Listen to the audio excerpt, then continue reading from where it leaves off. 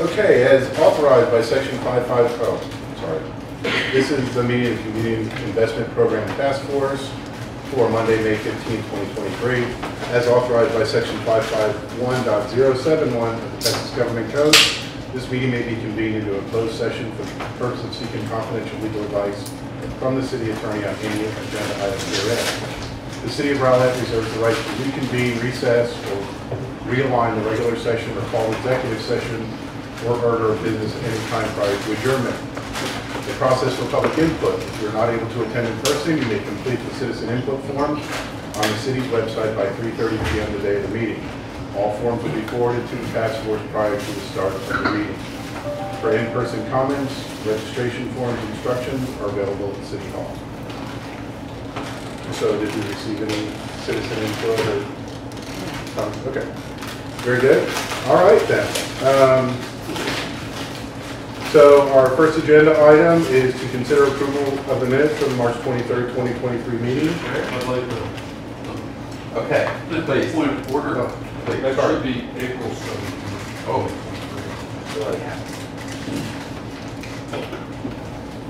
Yes. That's it. March twenty-three was March twenty-third was my previous meeting. I, I, Gotcha. That's not your fault, that's what. No, I understand.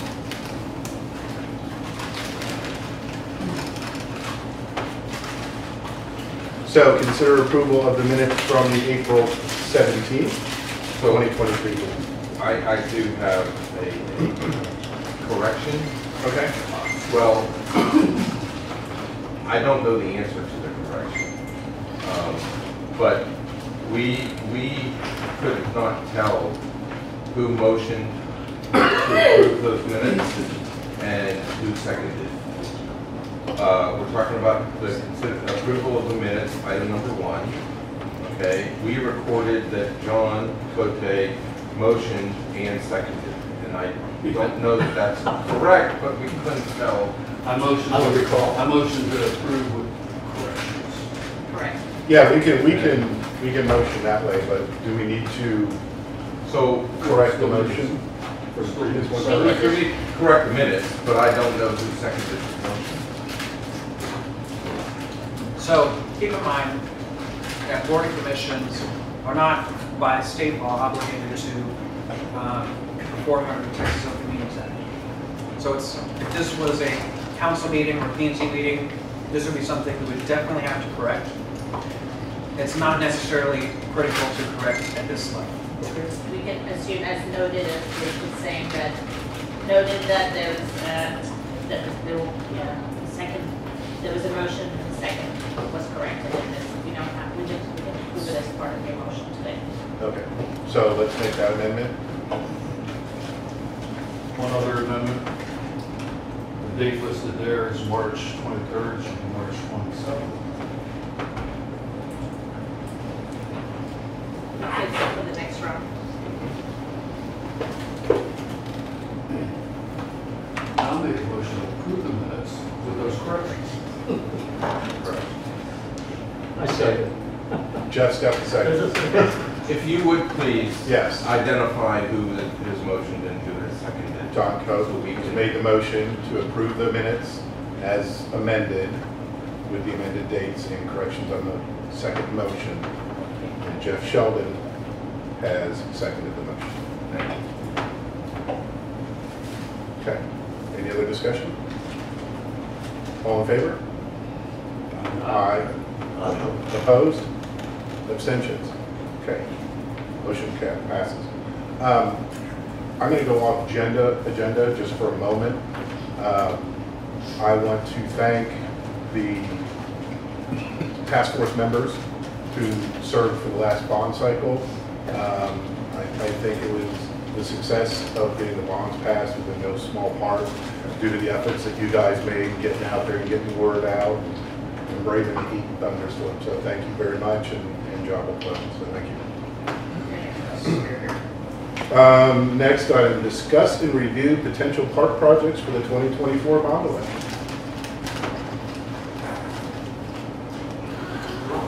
That's me. All right. Hey, guys. Thank y'all for allowing me to be here. Um, We're going to go through the projects that we're Um, We gathered as much information as we could. There's not any answers that I can provide, I definitely will get you answers as soon as possible. Um, A lot of things are happening, Parks Recreation, we're excited. Um, So it couldn't be you know, better time to start kicking off this stuff. So. Here's a list of all of the potential CIP bond projects that we have talked about. We'll go through each one in a few minutes. It's kind of a little bit of a longer uh, slideshow, but I'll get more in depth as we uh, proceed. So uh, parks maintenance improvements, and that mainly is where our park staff operates from. Uh, If you haven't been out to community park, I would recommend that you possibly go out that way. Uh, Wet zone, again, 22-year-old facility that needs continued love. Uh, Trail construction, erosion control, uh, Lakefront Conroe Phase Two, which we'll get into in a little bit as well. Uh, Parking lot improvements, shredded blue bonnet, uh, additional kayak docks and launches at the specified places. Uh, Scenic Point Park Phase Three, uh, we- We're looking at possibly doing some gym A improvements, which is the lower gym at the community center, uh, which is the older gym the original gym uh, that was in place when they when it, or renovated, if you will. Uh, There are a lot of identified concerns with it. Uh, Community Park Athletic Field improvement. Uh, We'll talk about Kids Kingdom and some renovations and some repairs that are really needed to be done. Uh, Shorewood Park, we've mentioned Shorewood Park, it's off of Wood Lake, um, and Dalrock, and then we'll talk about the additional wing to RCC. So to kick it off, uh, the park maintenance improvements, uh, we're asking for $2 million. Uh, What you'll see is the pictures uh, on the right-hand side are basically where the parks guys uh, operate from. They are, there are 18 full-time staff uh, that operate from here, work from here um, intermittently, as you will. Uh, Some of the most recent updates that we've done is we've expanded the yard to accommodate equipment vehicles. So if you look at the, I guess it'd be the bottom middle picture, um, that was probably not even half the size of the yard when um, they expanded it. So you- if you can imagine all of the equipment bundled in one place, on top of each other, it was hard for the guys to get to, move in and out, park trucks, button out, that we've uh, expanded the yard. It's allowed them a little bit more room to kind of maneuver, load up um, their trailers, uh, do what they need to do, so on and so forth. Uh, They added Connex boxes, so the Connex boxes are basically assigned to each crew. So there are four crews. Uh, Each crew has designated weed eaters, um, generators, everything that they need on their day-to-day operations. So uh, they stock those when it's needed. Uh, They also added, so the bottom right picture, where, she was there, but the bottom right picture, when it would rain really hard, that would flood. Water would rush through there, um, ruin drywall, ruin some of the equipment. So we had to add a French drain to help try to alleviate some of that rainfall, um, which has helped, but the water still gets in. Um, If we are given the, or provided the uh, estimated dollars, we'll start as soon as possible. Um, What I did for this project was break it down into two options. So I did a million dollar budget, which basically gives us a 5,000 square foot facility, which will provide showers, men's and women's restrooms, a break room and office space. Right now, they are currently utilizing one restroom. I do have three females that work for the Parks and Recreation Department. Um, The office space is what you see in the first picture on the bottom left, which basically isn't much room for anybody, um, as well as a break room. So by, by just doing the building itself will give them a little bit more room. Right now, they're currently taking lunches in the trucks. Um, They're finding places to sit outside just because it gets so crowded all the. Um, Second option is actually the $2 million option, which is all of the $1 million, if you will, plus storage and equipment washing station, which helps the guys when they have to clean off mowers, when they have to clean up, you know, concrete, things of that nature. And then in addition to lighting and security cameras, currently there are, there's no lighting at the facility and no cameras. So that will be included to, uh, yeah, oversee that whole entire facility. So it's kind of difficult for the guys to continue to be peppy, if you will, when they come to work. Um, so if you can imagine trying to work from your closet, that's what these guys are doing. So. Uh, Wet Zone Water Park, one point five million dollars, as you guys know. Aaron? Yes, sir. Excuse me for a moment. Um, Everything that you, you're speaking about with regard to the municipal building, uh, the parks building Mhm. and its maintenance, is, uh,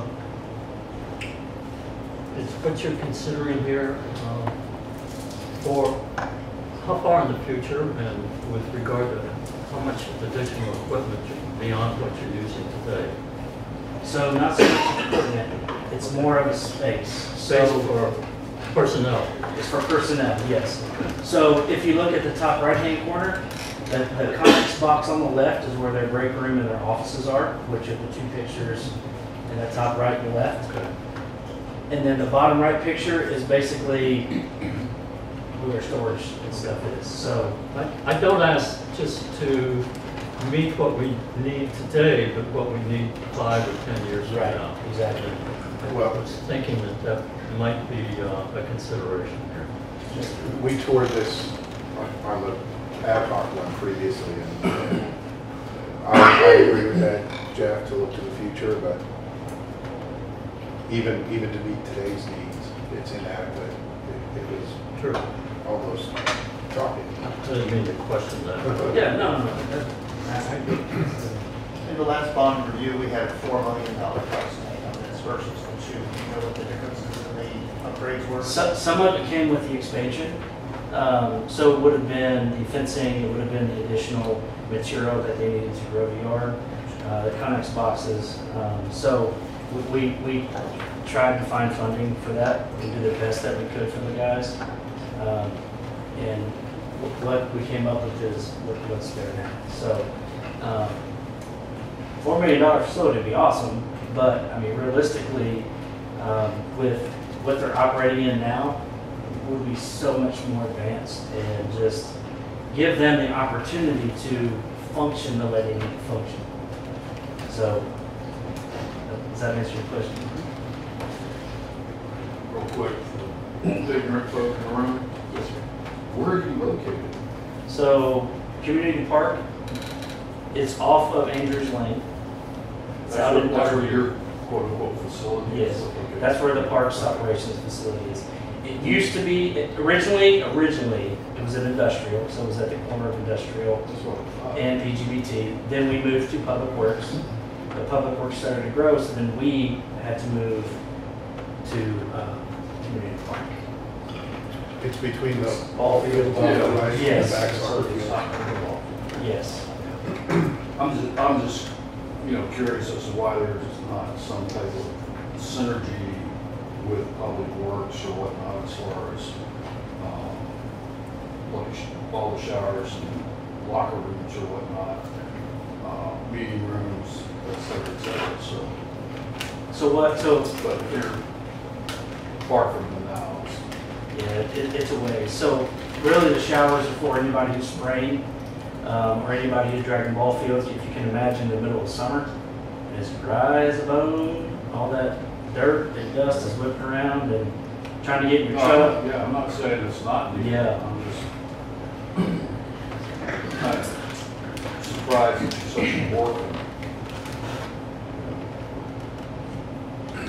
Just for clarification, can we assume that you're presenting this in order of your priority? This is top priority, next priority, and so forth? Or, or should we not assume that? That is correct. No, that is the assumption, that your assumption is correct. So this is top to bottom, this, this is our priorities. Uh, you know, I have, uh, I have assistant director, we, we spoke about this numerous times. Um, and we, we agreed on the order. So you'll see, so from this order to how we present is basically one through whatever it is. So, Hey, Jeff, so, that was, that was the last one. I do have, so when we, when you, when the yard was expanded, do you think that's about the amount of space that you'll need for storage and stuff going forward, the, the physical yard space, not the building? As far as, as far as, physical- I mean, we, we could always use more space. Right, right. But if, if I had to choose between the two, I w the building would be extremely nice. The way they have this set up and, and all of the staff have input, and that's important to me to make sure that they're set up in, in the way that they function. Yeah, so, uh, just to kind of give you direction on where I was going. So, if we look at, at future expansion of the yard, it would be nice, it is in the middle of community park, if as part of this, there could be some landscaping or shielding or stuff, um, Yes. to make it look more like it's part of the park instead of Yeah, this a maintenance facility out in Yes. middle. It's more like an expeditionary park service you know, versus, Yeah, Yeah. you, you have to keep those open. You have to keep those open. Ah, okay. So, so yes, there potentially absolutely is. You know, you, you go to some of these other, you know, larger parks and you see their park maintenance buildings and, you know, they have, you know, trees and they have bushes and it doesn't necessarily look like a facility yard, um, but it is a facility. So, I, yeah, I would just say that if we can, if, if that's included in part of this or conversation in the vision for it, that's fine, but it might be something we want to consider. Sure. If it's not, and I really don't care what the dump side looks like, but right, the street side maybe. absolutely, absolutely.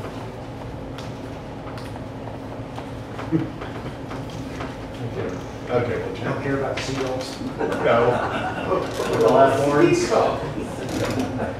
So, uh, Wet Zone Water Park, uh, again, as you guys know, it- it's a 22-year-old facility, so anything that old, it really needs love. Um, Last year, we entertained 28,000 visitors through the park, uh, which is outstanding. Down a little bit from uh, pre-COVID, if you will, but we're getting back to where we need to be. So that was definitely a a a stepping stone for- for that.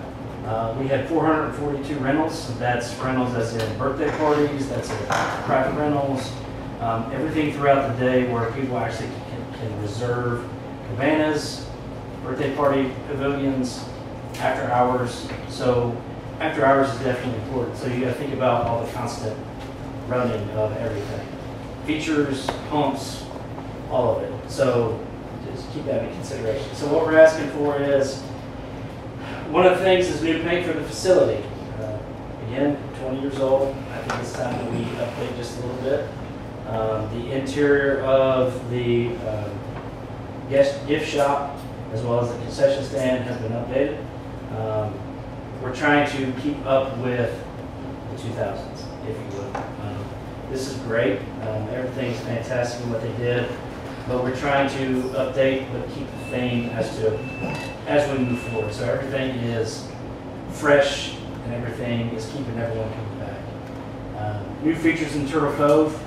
So the original feature is 2001. If you look in the top right-hand corner, that is the original feature, um, which has had some love over the last few years. So we painted a few times, um, replaced a few times, so we need to look at updating that. New shade structures, the tiki huts at the bottom right-hand corner is some of the old tiki huts that we've had through sun exposure and wind and the elements of the brave Texas heat. Um, it takes a toll. So we're looking at wanting to replace that. If you haven't been to Wet Zone, uh, Wet Zone currently has a sand volleyball court.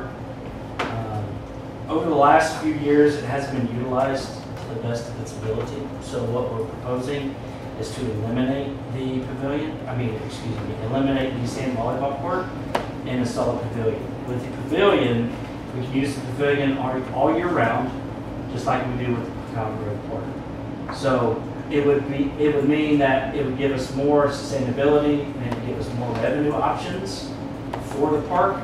You didn't know, Wet Zone is hundred percent sustainable, which means if they spend hundred thousand dollars, they have to make hundred thousand dollars.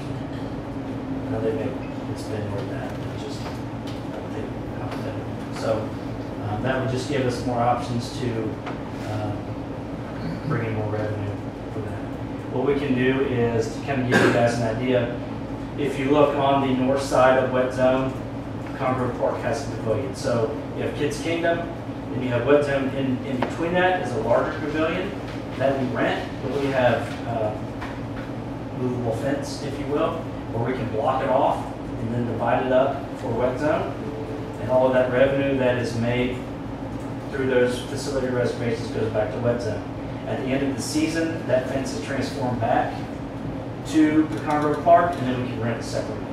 Our idea is to do kind of the same thing on the south side, because now that we have this golf course, we can do more events out there. So if we wanted to have tournaments, we can rent it. We want to have more opportunities for people to do birthday parties, it's there as well. So it's an additional source of revenue generating income that we can provide to the public.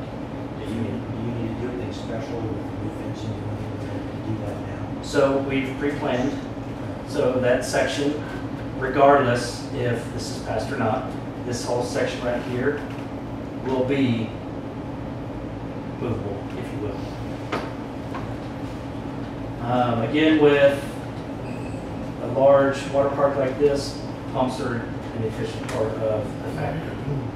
Um, Some of the pumps that we have need to be fixed, they need to be replaced, they need to be you know, re-inspected. So the, the exterior pumps that we have, we have two pump rooms. We have an exterior pump and we have an interior pump room. Most of the exterior pumps that are outside obviously bring the heat and the inlets more than the ones inside. The ones inside bring it more because of the acid and, and chlorine and water and everything else.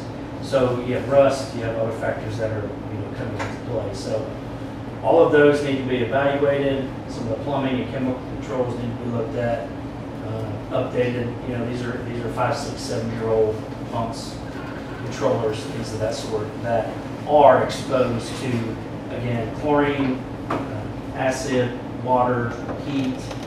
So we would have to have everything evaluated uh, prior to those being repaired.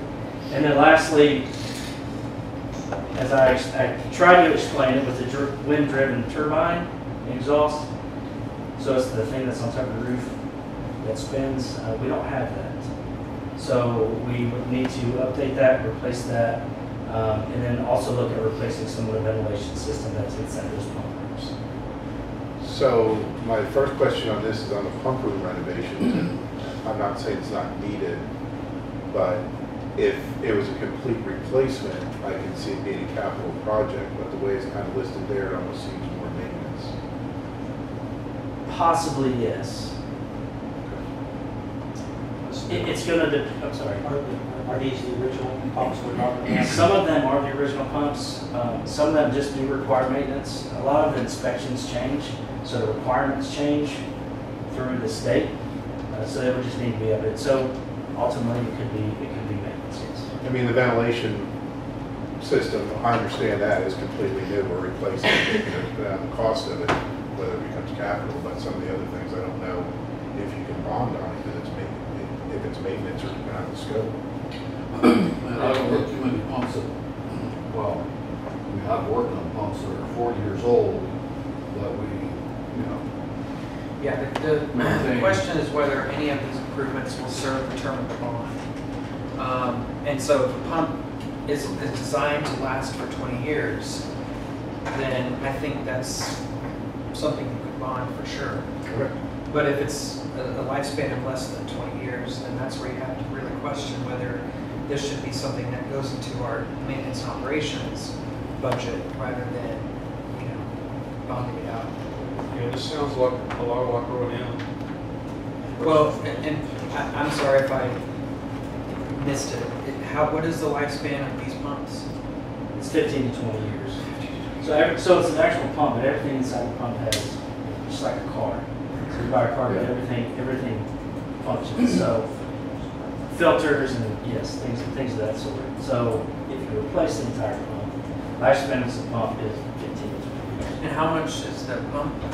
Is one pump? How much is one? I, I would have to check on that for you. It's kind of precursor to my question. So you've got one, two, three, four, five different kind of major bullet points here. and General number on kind of like to see as we go through, because each of those are a deliverable.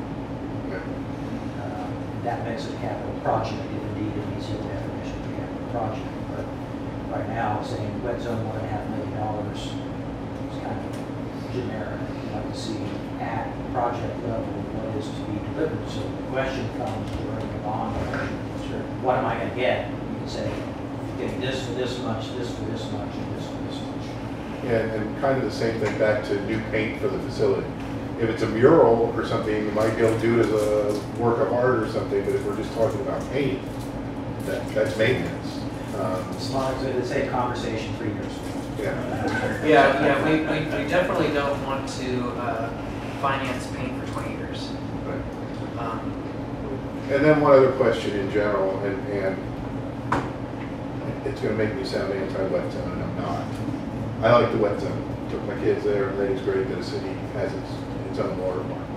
Um, But have we looked at when Sapphire Bay is completed, what we, what impact the attendance, that might have on the attendance numbers of the wet zone?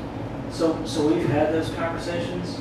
um, Internally, we've had those conversations. We don't feel that Sapphire Bay is going to have that much of an impact because we are, you know, so family friendly.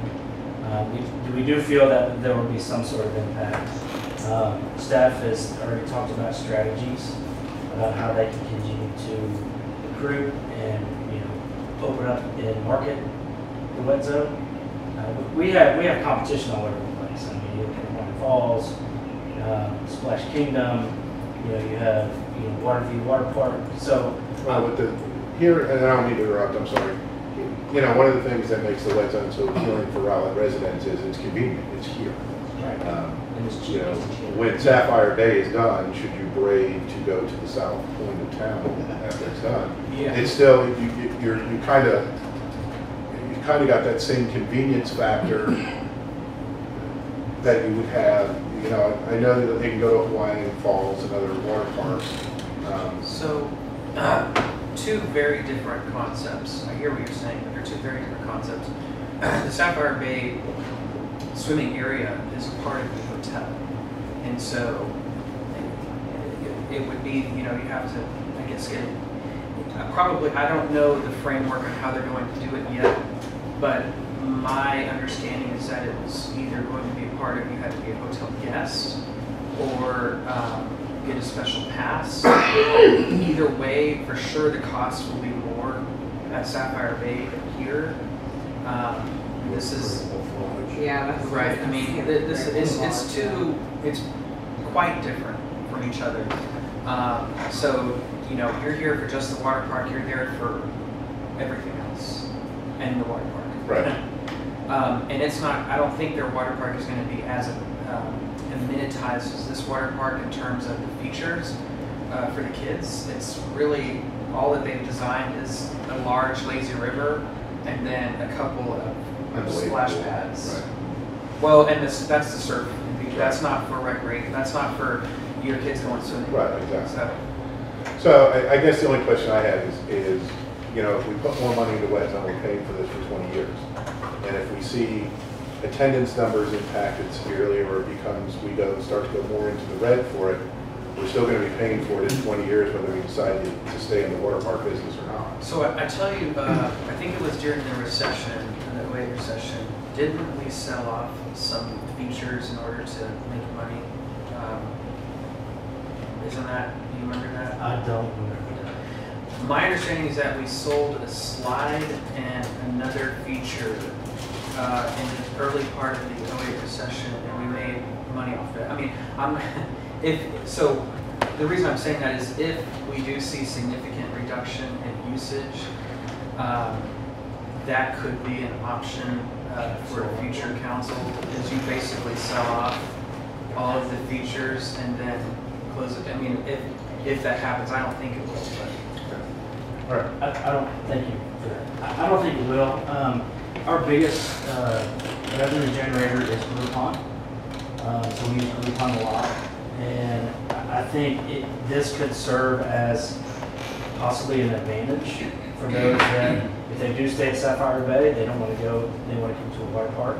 They're not driving to Six Flags, they're not driving to, um, Wolf Lodge. So, uh, you know, by, by updating, by updating Turtle Cove and by adding additional shade, that's one thing we hear is they don't have enough shade. So we're trying to slowly implement more shades, slowly implement more seating options, slowly implement more, more options for people who want to bring their families because, and I'll tell you what, it gets hot out there. And I, I, I've been out there with my family and it's like, oh.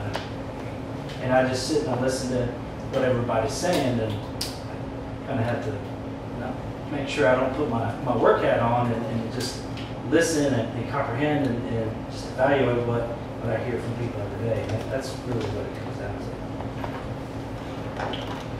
If I may, one question, uh, is any of this building in accommodation for additional guests over and above what you're experiencing now? That is to say, are we allowing for more people to come and visit and therefore maybe generate more income? I, I think by changing out the volleyball court to a pavilion, it possibly That would could. be, that, that's. It's another added amenity. Um, You know, I, I think by continuing to look at our operations and what we're providing to, you know, the park, vi- park visitors um, is definitely another option as well.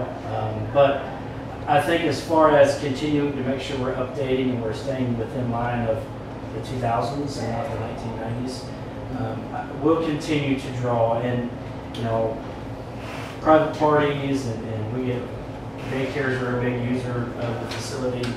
Um, but even throughout the summer, it, it's, it's families. So it's definitely, definitely a place that people enjoy coming to. So it, it's my job to make sure that I continue to provide those opportunities for these families. So, Well, the new disc golf course too, I think it, they complement each other. mm. Because if I go out and play around, it'd certainly be nice to come back and jump in the pool.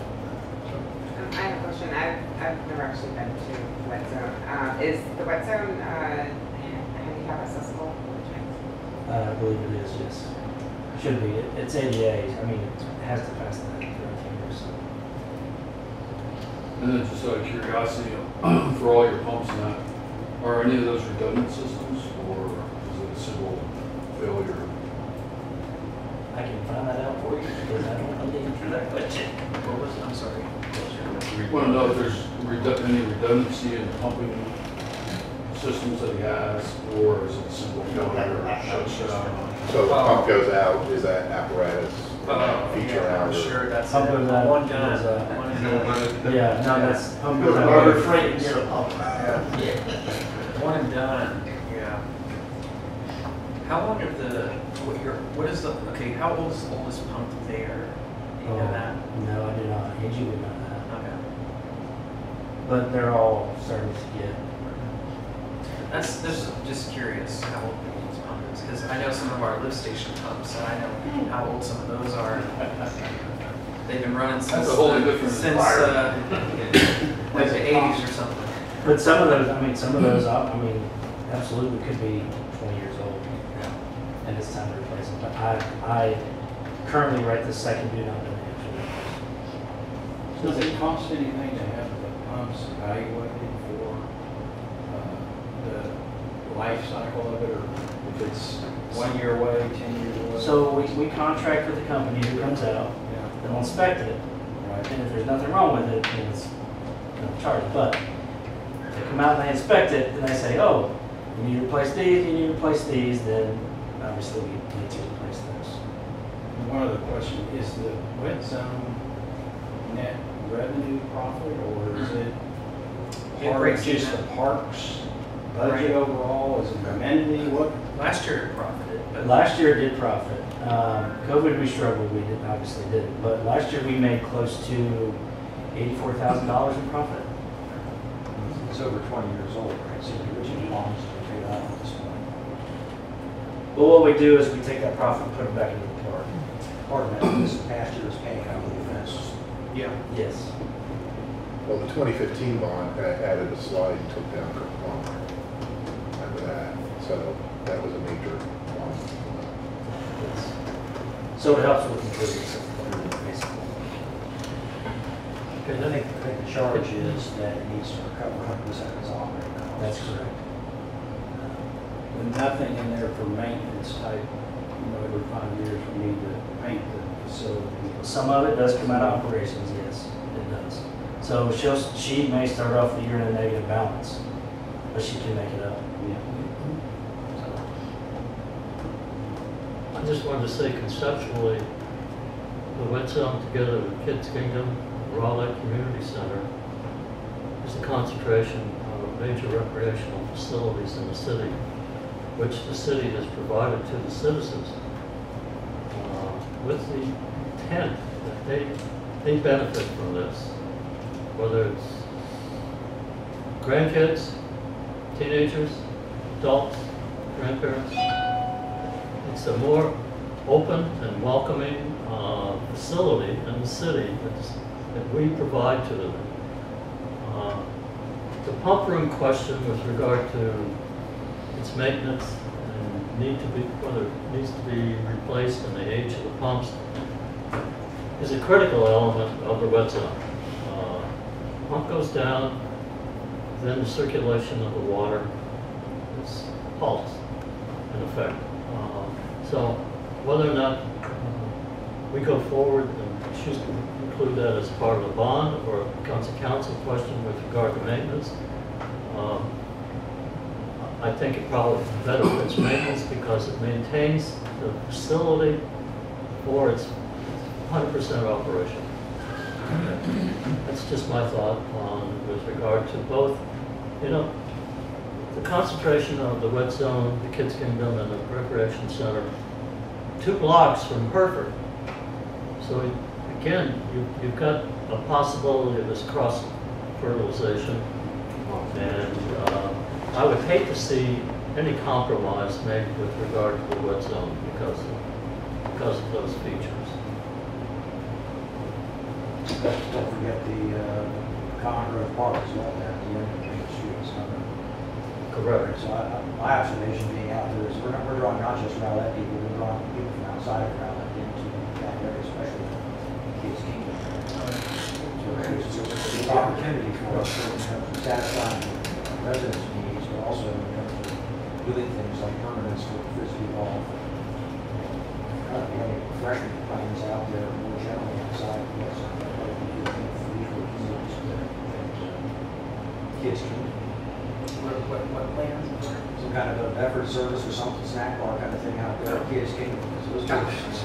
The ice cream truck comes by and it is, It comes out all the time. maybe, we can make a lot of money out there. Yeah, there's another aspect to this, is that um, these facilities are attractive not only to the citizens of Rowlett, people, I see all the time coming into the recreation center that are not citizens of Rowlett, and they have to pay extra or participate there, it's basketball or some of the other programs that are available, and there's also cross-fertilization possible here with the wet zone. There are folks that find this attractive without having to go to Hawaiian Falls, so, which is considerable distance from all that. Anyway, Well, this golf's already bringing in a lot of traffic even before it was done. It's not even open yet, there's my plan, And I'm like, what are y'all doing? You can't be playing. They don't care. I've played three rounds already, so. I mean, there's no diagram to show the layout, but it's like, okay, we can figure it out. I need to figure it out. Yeah. I already lost the disc now. So track construction, um, as you guys know, it's been a big topic here Rowlett. We're asking for three million dollars. Uh, Right now, the Garden Football is, trail is a ninety percent design, uh, which we're excited about. Hopefully, we'll start within the next month or two. Uh, What I tried to do is provide everyone kind of some visuals of how long these trails are going to be, as far as where they're at throughout the city. Uh, Once we finish Darnford Wall, uh, Schrade Road is, is next, which is just under a mile, which will then hook to Lake Highlands Trail, uh, which is finished recently. Uh, So that will be nice. currently have five hundred ninety thousand dollars remaining in that fund. Um, And then other trails we, we want to look at doing is Main Street East, which is basically along Main Street from PGBT Service Road down to what's going to be Lakefront Pecan Grove. Um, So that will hook up Lakefront Pecan Grove to Rowlett Road, basically, once it's done. Um, Long Branch, 5,000 square foot linear feet, if you will, sorry. Um, And then Rowlett Road, which is half a mile. Oh, I didn't, I did not bring the master plan just because I only had one copy and figured everybody wanted to pass around. But it is available on the website if you want to check it out. Um, The remaining trails are on the right. That's what council approved. We are in the process of updating our Parks and Trails master plan. Um, We have subcommittee, um, some of those images that um, are currently in the master plan will be updated. Uh, We are still adhering to the no trails behind the homes in the lake, so we're- we're changing things up just a tad. Um, So you see Main Street East, Long Branch Trail, uh, Road, Village Trail, um, the Signature Gateway Trail, Muddy Creek Trail, which everybody knows. Um, I joked one time I was giving a tour to the, the Citizens Academy, and I told them that it was going to be a mud bog.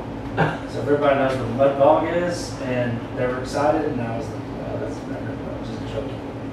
Um, So, and then the Rowlett Paddle Trail, which is uh, recognized by Texas Parks and Wildlife, if you guys don't know. So that's more of the kayak, you drop off at Paddle Point Park, you can row up to the north and then row back down and then finish back up. So, Quick question on the, the Schrade Road Trail, um, what happens to be up there? Is there, what are the, and I know it was brought, brought up briefly at our, at our roads one, is there any plans to widen Schrade in the near future? And, and the only reason I bring that up, not because of that, but I agree a trail needs to be there, but can we put it where it would be like outside the easement, so we don't So put it in and if then you tear it up? recall, we did include Schrade on one of the proposed street projects. Okay. For the next pond. But, um, I don't believe that the master thoroughfare plan calls for that be widened in the sense that it, it's gonna stay a two-lane, and I, I'd have to check the master thoroughfare plan. I I don't even think it's divided. No. I think it's a It's a collector. roadway. But here's the deal, it will include sidewalks, and so Yes, yes. if, if this group decides to recommend Schrade Road uh, reconstruction, then therefore, uh, the scope for the trail construction would not include Schrade Road, because that will be already included in uh, construction. But we would have to make it as a trail and not just a sidewalk, because a trail is, is wider. I Like we're doing Jesus. No, we'll just, no. Jesus, Jesus, we have. We don't need to go complicated. No. The sidewalk's a sidewalk. No, they need to be wider in general, I mean, throughout the city, Yeah, 'cause you got a lot of kids walking on that road. Or riding, Two roads of the- riding bikes. But that can be as part of the construction cost for Schrade Road. That does not need to be separate from. No, exactly. But What I don't want is, On if- on Jesus, they're going regular sidewalk width on one side, and I would say Uh, ten feet on, on the other For- side. With the trail, that's right. Otherwise, But you it might is say a this is logical cross. extension. It is. Correct. Logical extension. But that can be included in the construction cost. Yes, it could. Absolutely.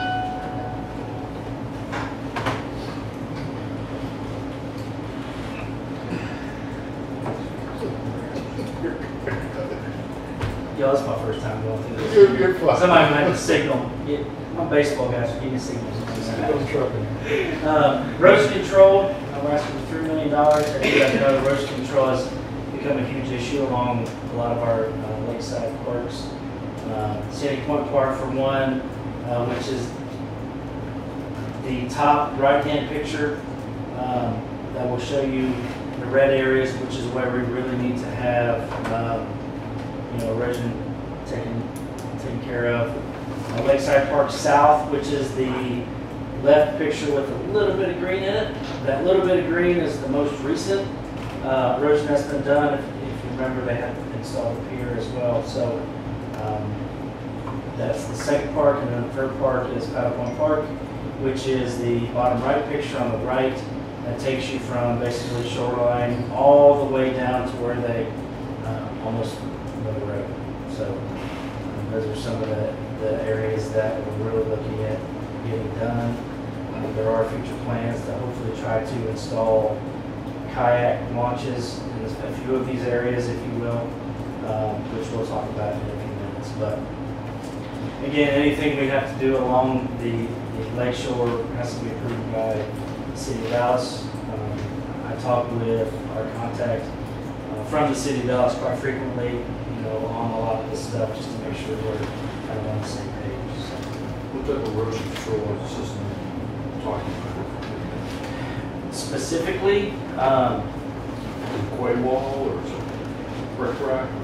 So, so there's probably gonna be a a couple spots where we do the prep. Um, I don't specifically know seawalls, probably in Scenic Point Park, might be more of a seawall. Um, but, but as far as Lakeside South goes, on the northern part of uh, Lakeside, it's not that bad. So they would probably have, I'm not an erosion expert by any means. Um, but what they probably would have to come in and do is do some sort of riprap. A lot of people are now fishing there. Um, so they're coming over from Paddle Point Park and going to fish on Lakeside South. Um, so anything that we can put there that will accommodate them some will help. So that will be a conversation that we have with, uh, whether it's some sort of designer, some sort of engineer, to help us determine what's going to be best suitable for those locations. So is the three million just for engineering services or? So it's basically, if, to, to put it bluntly, it's a million dollars per, um, Location. location. Roughly, you're looking at about fifty thousand, sixty thousand dollars in design. Um, I can't specifically say that, um, but that's. Well, so again, depending on what you're gonna do, so it's Right. determine your cost. Right. So that's what I was trying to figure out, what's three million worth? So the south part, I'm sorry, go ahead. Get your. I just, you know, Is it safe to assume that the Dallas uh, will not participate in financially in doing this? Yes. correct, yes. Absolutely. Yes. they got no benefit out of it. Even- Even though they own the lake. Right, so their thought process is, you know, one, we sub sublease, just as an example, even if it's not take area, until it's not a point where it absolutely, absolutely cannot be done any other way, they might come in and see if there's an alternative, but they're pretty hands off. We've had issues with other areas and they pretty much we're not worried about it. On the south part of uh, Lake Point South, below the, or the green there, that was cage driven, right, wasn't it? Was that seawall? Do you remember when they did that? Where? No, you mean at Lakeside Park? Yeah, I don't think, no, I don't think that it was. right. The seawall. Yeah, I don't, th- there's a seawall where, oh, you can't. Uh, Yeah, that, Let that one. the top. It's okay. Very top. See, Oh, oh, you're talking, oh, fancy. So you're talking about the green, no, so that's where the seawall is. Okay. And it comes down just past that last parking lot, and then it stops. Okay. So really right there where it Yeah, stops. where, yes, so from, from where the green, where the green stops to where the red picks up. Because that's, that's when we focused, when I started here in 2011. Right, I remember about a year or so later, that's where they had started doing a lot of their work. okay. But I thought along some of that area already, they had done some erosion control, other than where the green is, so like where the fishing pier is and stuff? Did they not?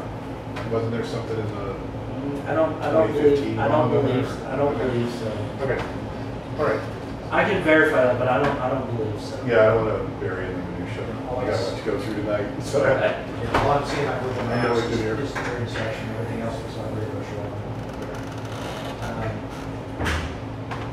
I I would, I would get, I would get tired of hearing this specifics, specifics, specifics. Sure. How much does three million dollars actually buy? We have more than three million dollars worth of erosion control that needs to be done, so I'm being very specific. again, we're going to do, we're going to solve this problem here. This is a deliverable, we're solving this problem here to be very critical to getting this through, especially after the out this year ask for eighty million dollars a year, and it wasn't come back next year, and ask for fifty. They're going to want to know what's being, how are actually allowed for years ago, two years ago. I think people like seeing this is your bond project at work, signs around and stuff. I think Oh, it's yeah, really we, fun. we don't do that. We need to do that. Well, on a quarterly basis, and I like when you show you have a starting point on the uh, parks maintenance areas, and we'll start here. Okay, let's get out this, so where am I starting? This is our expected duration, and then we work to that over the course of the next several years it takes to do it. Uh, That's how you build confidence in the public that they're taking the money's not back. Paying it. What, what do you mean by erosion control methods?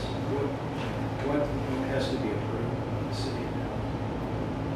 Is that the actual material or how is it distributed? Well, there, there are some materials that are prohibited. I I don't recall offhand what they are. They have an approved list of seawall materials.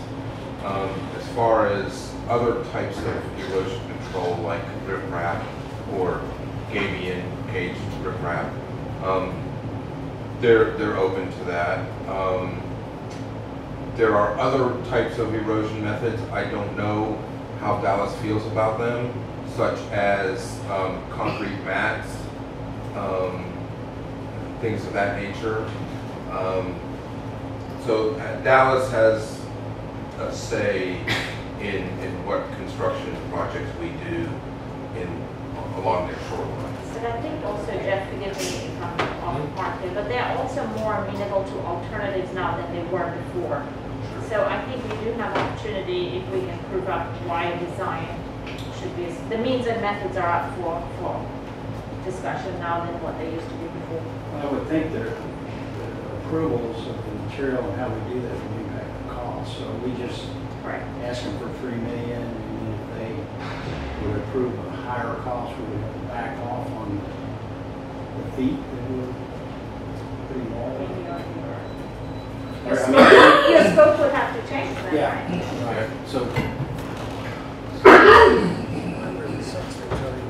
so we're not really going to Dallas and saying for this area, these three areas that we're looking to target.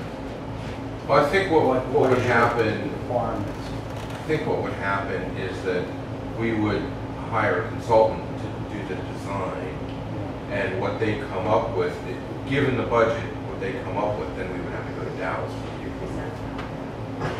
I would think too, based on what the general use is for that section of lakefront too, is gonna determine the material as well.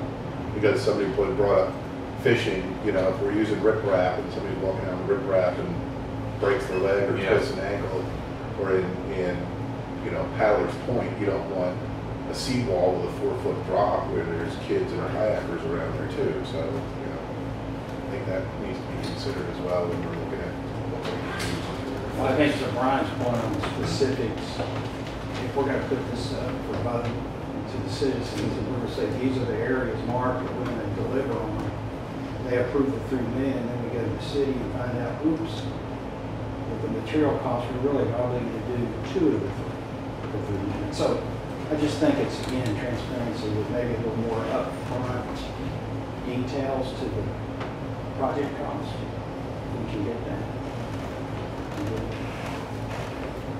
even maybe just very rough possible designs, I know until you Yeah. have a consultant come in, you really can't do that. Yeah, because right, right now, you, you mentioned, um, you know, three million a million for each area. Well, one area is three hundred and forty-six hundred feet versus two hundred, two thousand eight-six hundred, so, you know. Right. It doesn't make sense to say that. We were talking, or, you know, we were the other day too, about the potential for doing something other than a hardscape. Uh, I was just trying to find some uh, information on it. We might consider looking natural um, plantings that actually stop erosion as well. Uh, it- Probably something we would need some expert assistance on figuring out what to do. You know, so probably, you know, you remember what that grass was called? I I found another place on the outfit called Smart Plants.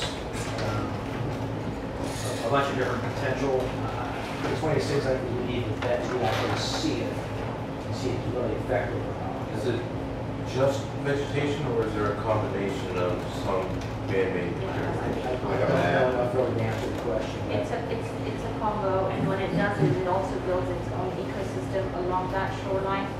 So those have been used in different um, areas where you have the reeds and what have you to retain, but you've got trees that have specific root systems that also then prevent the erosion, which builds that ecosystem along the shoreline as well. The reeds block the way it out Correct, into the sea. correct. in a lot of So it's, it's a, it's an The aggregate, grasses hold, correct. hold the dirt in place. Correct. It's a whole kind of system, Yes. system process. It's very, very eco-friendly. It really does, and it can us And, do. and, and cost efficient. And in the long run, absolutely, it'll make it cost. Of course, maybe hard to fish through the reeds. It'll keep people from swimming. Waders. Oh, it'll attract more competition, just like people from swimming. It'll keep people from swimming. Living in Florida, no, it doesn't. That is really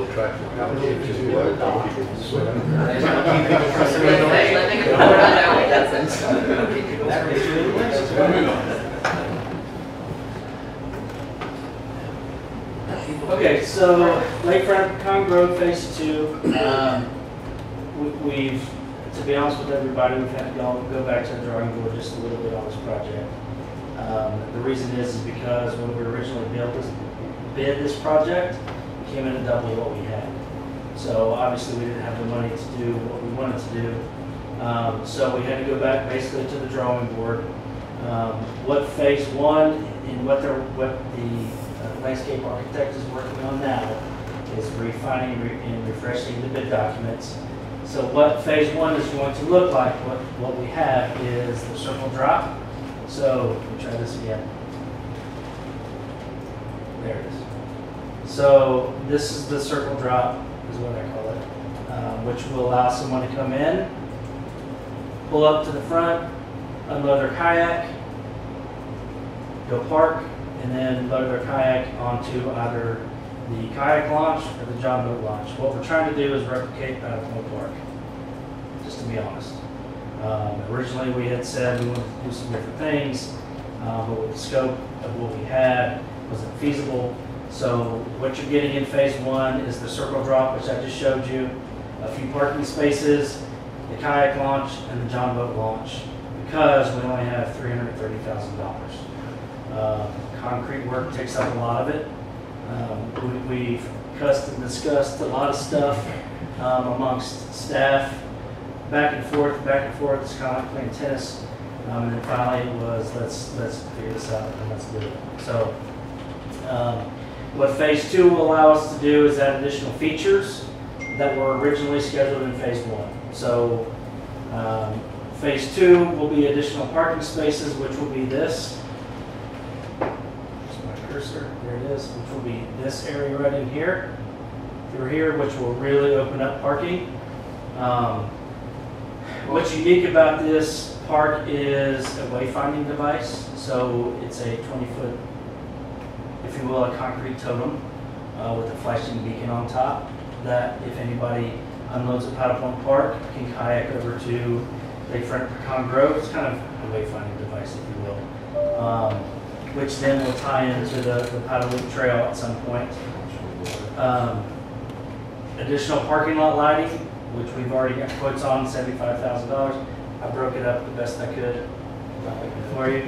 Um, Trails, whether it's a crushed granite trail, whether it's something that will get us around this area to begin with. Here. Um, Picnic shelters with tables and grills, which would be these right here and through here, which will give us additional revenue opportunities for those that want to rent it. That'd just be probably 15 by 15 with crushed granite, picnic tables underneath it that you can rent. Uh, Be nice on a cool spring or fall day. How would you control that? Yeah, I was, I was gonna force the. We, we actually have, so we would do it just like we do in any other park. Uh, we have park staff work seven days a week. So they go through and they monitor everything. So they come through in the morning, they pick up from the day before, trash, everything. They have reservation boards that they put their names on. Um, Typically, what happens is if uh, Eric is there with his family, um, and Richard comes up and he has a reservation, he has priority use over the reservation. Should nothing happen, then Richard can call either the front desk staff at the RCC or call PD. All Richard has to do is show his confirmation, and then unfortunately Eric and his staff would, or his family would have to do somewhere else, but In- In my experience, it works pretty well, because for scout events and stuff, we bring the pavilion, community park and stuff, and we've gone out, and people are doing things like, hey, we have a reservation, like, okay, we're good. So, This is a fantastic um, piece of property for our community to have access to the lake. What, if any, part of this will address access to all of this?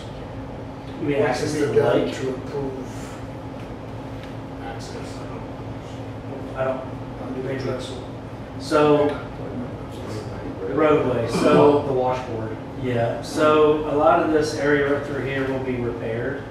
Um, directly underneath is what we're gonna have to address. Um, Jeff Reynolds a little bit. Um, but that does not include, so we, we kind of talked about what some possible solutions could be. Um, but obviously, we don't wanna have a smooth roadway and then you hit twenty-five foot area where it's bumpy, then that's something that we, we're gonna work out to make sure we can fix. So So- we lead into the new But plan. I think what Aaron's trying to say is the scope of cost that, that this is looking at does not cover the area under the trestle. Why is that? Is that just because it's controlled by the railroad versus? No, it just, it's not part of this scope. It was never scoped out.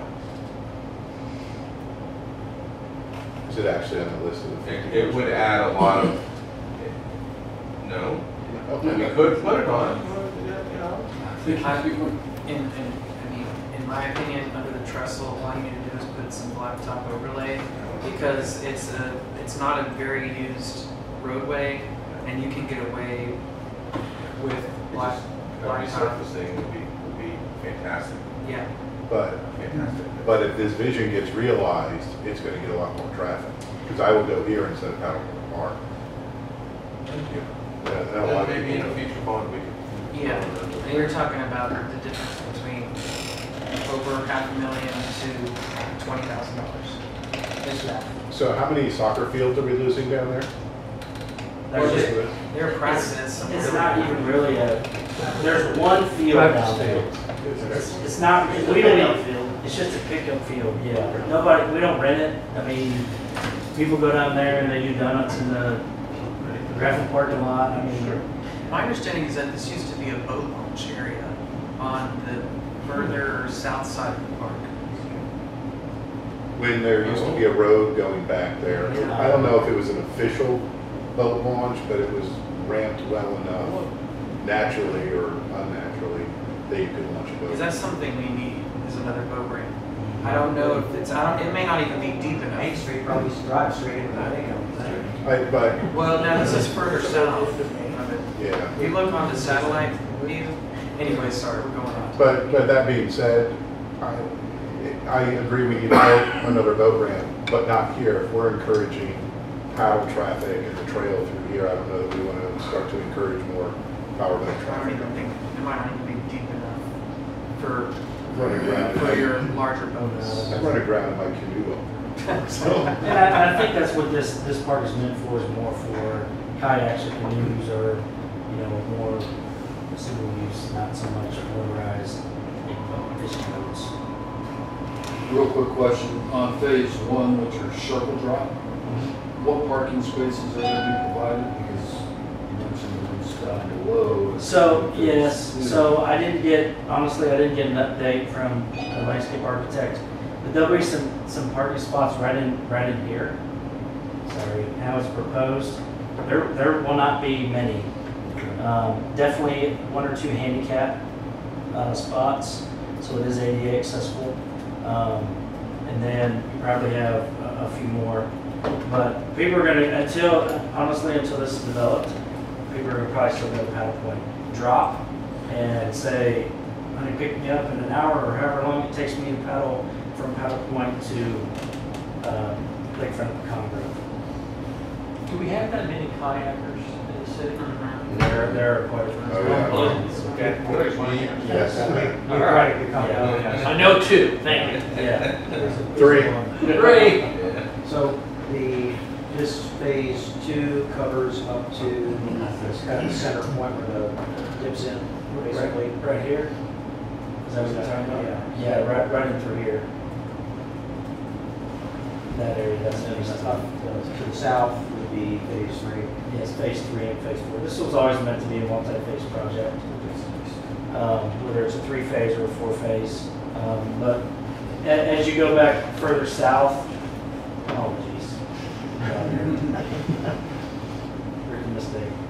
Um, so this was meant to be um, playground area, uh, more natural areas because it is next to the lake. So more crushed granite, more um, shade structures, parking, uh, turnaround, fishing pier, boardwalk, if you will, um, through I where see the the wayfinding thing is depicted at southern. No, it's right here. It's D. Yeah, it's right there. A. Oh, that's a dock, okay. A is the, A is like the boardwalk slash It's like it was going up in the air. Two D drawing, sorry. And then with those are uh, six picnic shelters with tables and grill, which is roughly about three hundred thousand dollars, fifty thousand each.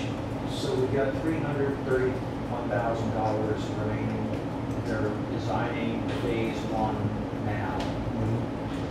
know the startup cost every time you go through and start a new phase. Um, it's already April, May, it's May already. Um, Twelve months from now, this goes to the voters, three months later, bonds are sold. What's the construction timeframe for phase one, how does it tie into phase two? Is it better to tie them together and do that whole section at once?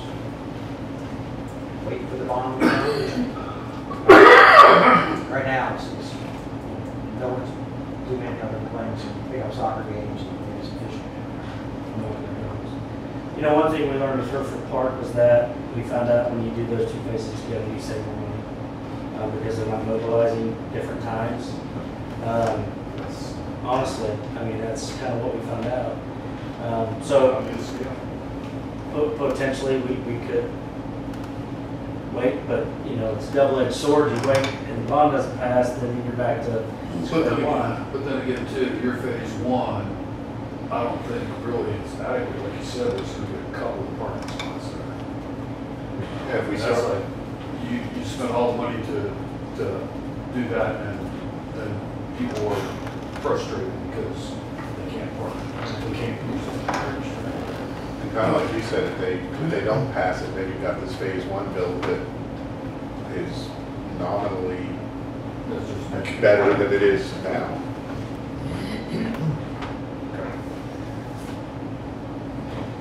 But thank you for the breakdown.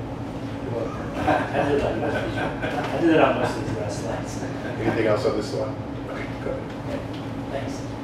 So, uh, parking lot improvements, um, we're asking for three million dollars, and, and here's why. Um, Some of these areas that we have, we are increasing traffic, we are increasing programs. Um, uh, One of, the- one of the things that we talked about was, for instance, Springfield Park. Um, With the growth that we have, if you've been to Springfield Park, you don't have many spots to park. And on, on a nice spring day, there's hardly any mosquitoes around, that whole bottom parking lot is full. Um, we've talked about adding some ditch programs down there. I'm not gonna go into details because nothing is set in stone yet. But should we start playing baseball games out there? Should we start doing some of the other activities that we're doing? We're, we're going to need more parking in Springfield Park. So basically what we're asking for is basically just doubling that bottom parking lot into two times what it is. Um, You're gonna ask me how many spots are there out in the county, so don't ask me that. I don't know. We'll want to know that. Right, yes. Um, so that Springfield Park is to help the growth programs. Um, Dexham Road, which was, has been a concern to a lot of people, has been roadside parking and safety. Um, I don't know much many statistics about that. But if we could accommodate some parking on the north side of the park and get people off the Dexham Road, a lot of people park there to utilize the trail. Um, That's a 1.7 mile trail if you do it correctly. Uh, So people are parking there, walking down the trail, um, and then coming back, whether they're walking their dog, whether they're fishing, whether they're riding a bike, uh, whatnot. So that is one question that we had. Um, And then lastly is the Pecan Grove Park South parking lot, which is on the south side of Wet Zone, where we just installed the brand new disc golf course. If you've ever been there during the summer on a Wet Zone day, you cannot find parking there. And what's happening is, is people are pulling in, and they're saying there's no parking, and they're leaving. So it's lost revenue generators for us, um, because everything up to behind the RCC typically is taken.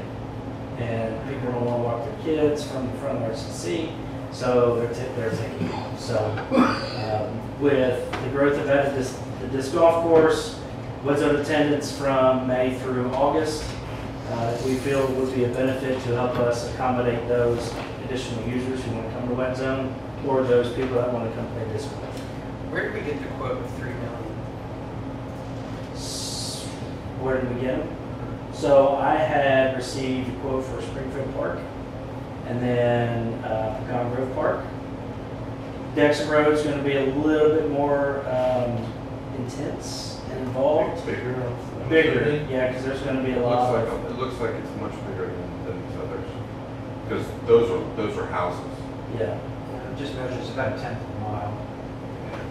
Do we know how many parking spots for the next one, or? We did not, and and I'll be honest, the reason it is not is because typically you have to hire somebody to do this sort of deep analysis, and I, correct me if I'm wrong, Yeah. um, but we did not. So we, we took a guesstimate of what we felt was the best option at this point. Your guesstimate, did you, 50, 25, Uh, 20 20? with four handicap spots. So, and what's on, is this the, the one that faces 66? The other side of it? This is on the, on the north side of 66. So if you know where the RC uh, regular control flying Oh, yeah. is, right, it's back that way. Yeah. The, uh, just a heads up, I, I believe the reason why they didn't expand the parking lot behind the Congo Park was because there was, that was the cutoff for the right of way, uh, for utilities. So that's just something to consider. Um, we just may want to look into that and see if we can actually construct a parking lot on the surface. Because I believe there is, um, it's not gas, but uh, water line, and then the overhead, uh, commercial rate. It's just something to look at. Yeah, no, absolutely. So on- on Pecan Grove, um, do we have any traffic studies or anything about how many people are coming into that lot? But instead of saying, well, let's take this piece of land and turn it into parking, maybe a better approach might be, well, we need 100 more parking spots. And then you design it to accommodate that instead of Oh, Which, I'm sorry, which one was that? Pecan Grove. Oh, okay. So instead of, okay, so you're saying you could do multiple areas with more Yeah. parking spots? They either expand it that way and then also that way. It's just- Right, so if- if we knew how many people, I mean, it, it's tough to do because it depends on what season it is and if there's events going. But if we could estimate how many parking spots we need versus we have this piece of land and let's get as many, you know, if we need, if we say we want to try to get hundred more parking spots at Pecan Grove, then design it to do that instead of saying, well, we've got this piece of land and maximize that, because it might change the design or how we do it too, so. Send a couple of high school kids out there at ten bucks an hour to count cars. Yeah, we They're can already try there. What's the incentive? That's your thought. Thank thank you for that. I'm just thinking the police have those things that you can just lay across the road, right, and just do some traffic counts on weekends and stuff. You probably want two, one for the front part of, Yeah. and then one then for- you know how many cars are actually going that far. back. Those are how we used to lease those. No, we, kind of, it's a contract service. Okay. I like that Dexham Road because I've, I've seen a lot of complaints about the danger of parking on our streets. That's a good thing we have now. Schrade Blue Bonnet Phase Two. Um, This is one of the parts that we really want to this forward with.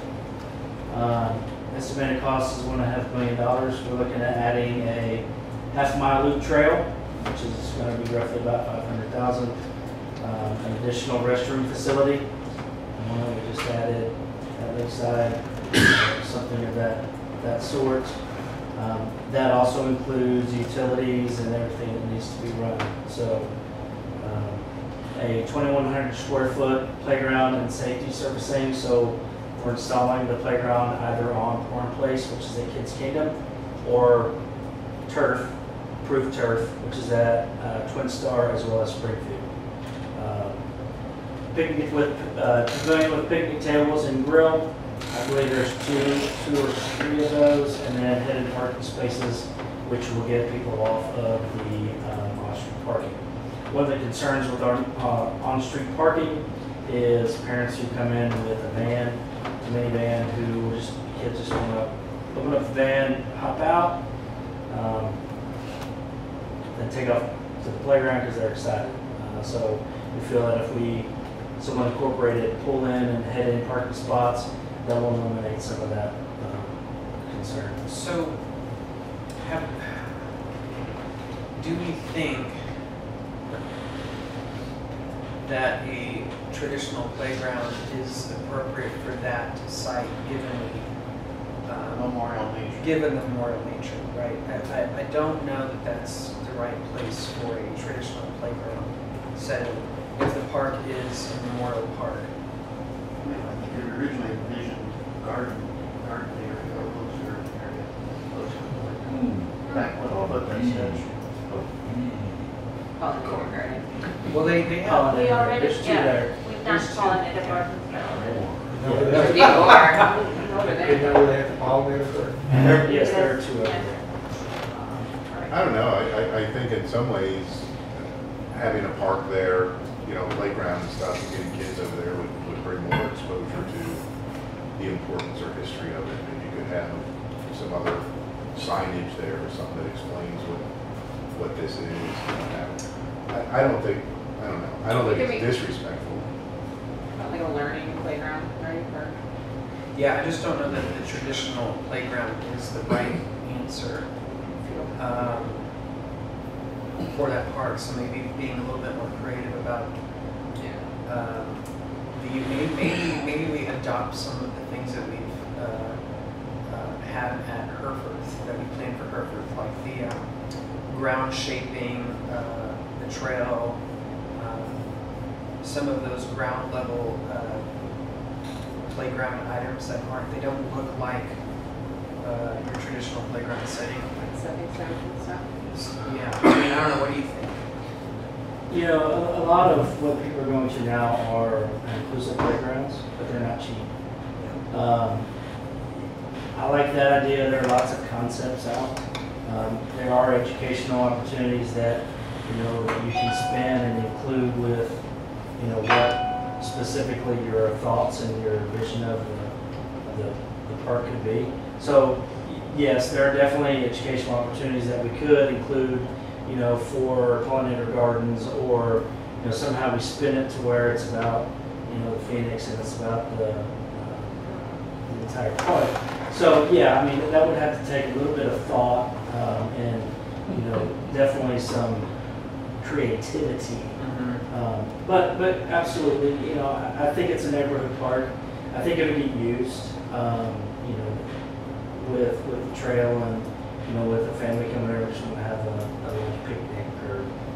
What, Aaron? I- I think it has a lot of potential for, to be able to accommodate children, right? I mean, there's a lot of different, different types of parks, right? Like kitchens, things like that, that all kind of associate with you know, growing new life, right? The, the gardening and stuff like that. So, I mean, you could do something with kids, that gardening, mud kitchens kind of thing. um, Yeah, I'm not saying, you know, don't, don't have some kind of uh, featured area for kids, but, But the but the traditional traditional playground, yeah. playground, I think if you're gonna do a traditional playground and don't put it near the sculpture, because you wanna separate those areas. uh, Kids get excited. Yeah. Well, and they're gonna think the sculpture is a playground and you can climb it. Well, I, I think Aaron brought up a good point though, and and you kind of reinforced that. It's a neighborhood park that was a victim of circumstance, so had. But it was a victim of circumstance. Right, I understand that, but it's still, primary focus is to serve as a, as a spot for those neighborhoods for families to to utilize and gather. And I, I think there needs to be something for families to do other than just be memorial. Maybe in the backfield you put the playground or something, I don't, I don't know. It's just, Can you flip the playground equipment to, this is a street, is that? Alley. Never mind. yeah. But, but I, I- think, I agree with everyone. I, I think this is a unique opportunity and, you know, whether you, however you spin it, you- you spin it towards what you want it to look like and what your is going to be. So, you know, this, this is our opportunity to jump all over this and, you know, whether it's some sort of memorialized playground or some, some type of features as you walk the trail or whatever. So I, I- think there are plenty of opportunities here. We just have to figure out what the opportunities are. I think also a more organic play type area is gonna save you a lot of money with, that. Yeah, if, if, if the plan is to stick with the traditional playground, I'd at least consider moving it to a different area of the, of the field. Uh, And not be one of the, you know, very first things that you drive up on.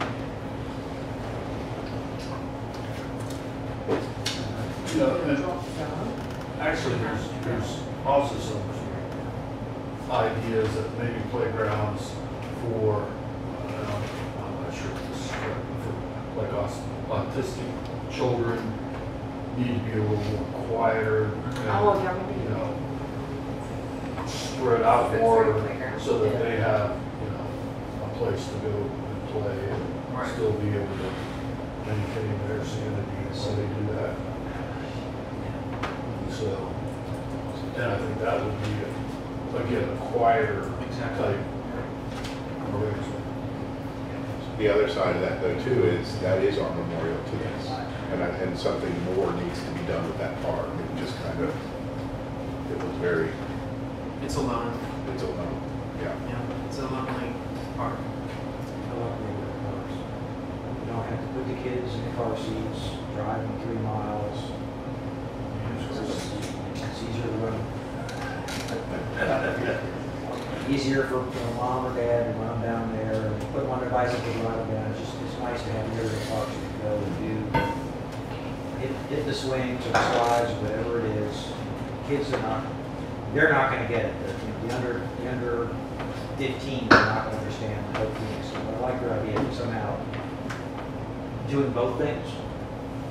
It's big enough you can do both and get away with it, and, and respect the spaces that are there. Uh, But putting a playground in the very front center is, is, dis- is distracting from, from, from the incident that occurred. So, That's not an asphalt. Right. But there may be a possibility, uh, get Google Maps up there, it's always helpful for me to see what's there. We talked to these folks and put a driveway in here, for the parking is over this side, not where the playground. This becomes really two parks. Be on the northwest side. So be like Yeah. over- over here, over in this area. Yeah, that way it's far enough. uh, so The to memorial utilize- be quieter. I did lane, yeah. We, we don't want to utilize alleyways for that. That's, that's a, that's a, that's a street. Where are you? I, I, I did, and it talked. I gave it dead If ends you there. get a, get right of way through what looks like. Oh, I see. Oh, right here. You could, On the oh, street. Our driveway right there. Parking lot right, right off the. no, it didn't look like it. It's just a there dead now end. be another- It dead ends there. Yeah, it's a dead end. And that's the, that's it, that's not. That's the separate Well, property. this this is, a- We have to purchase that.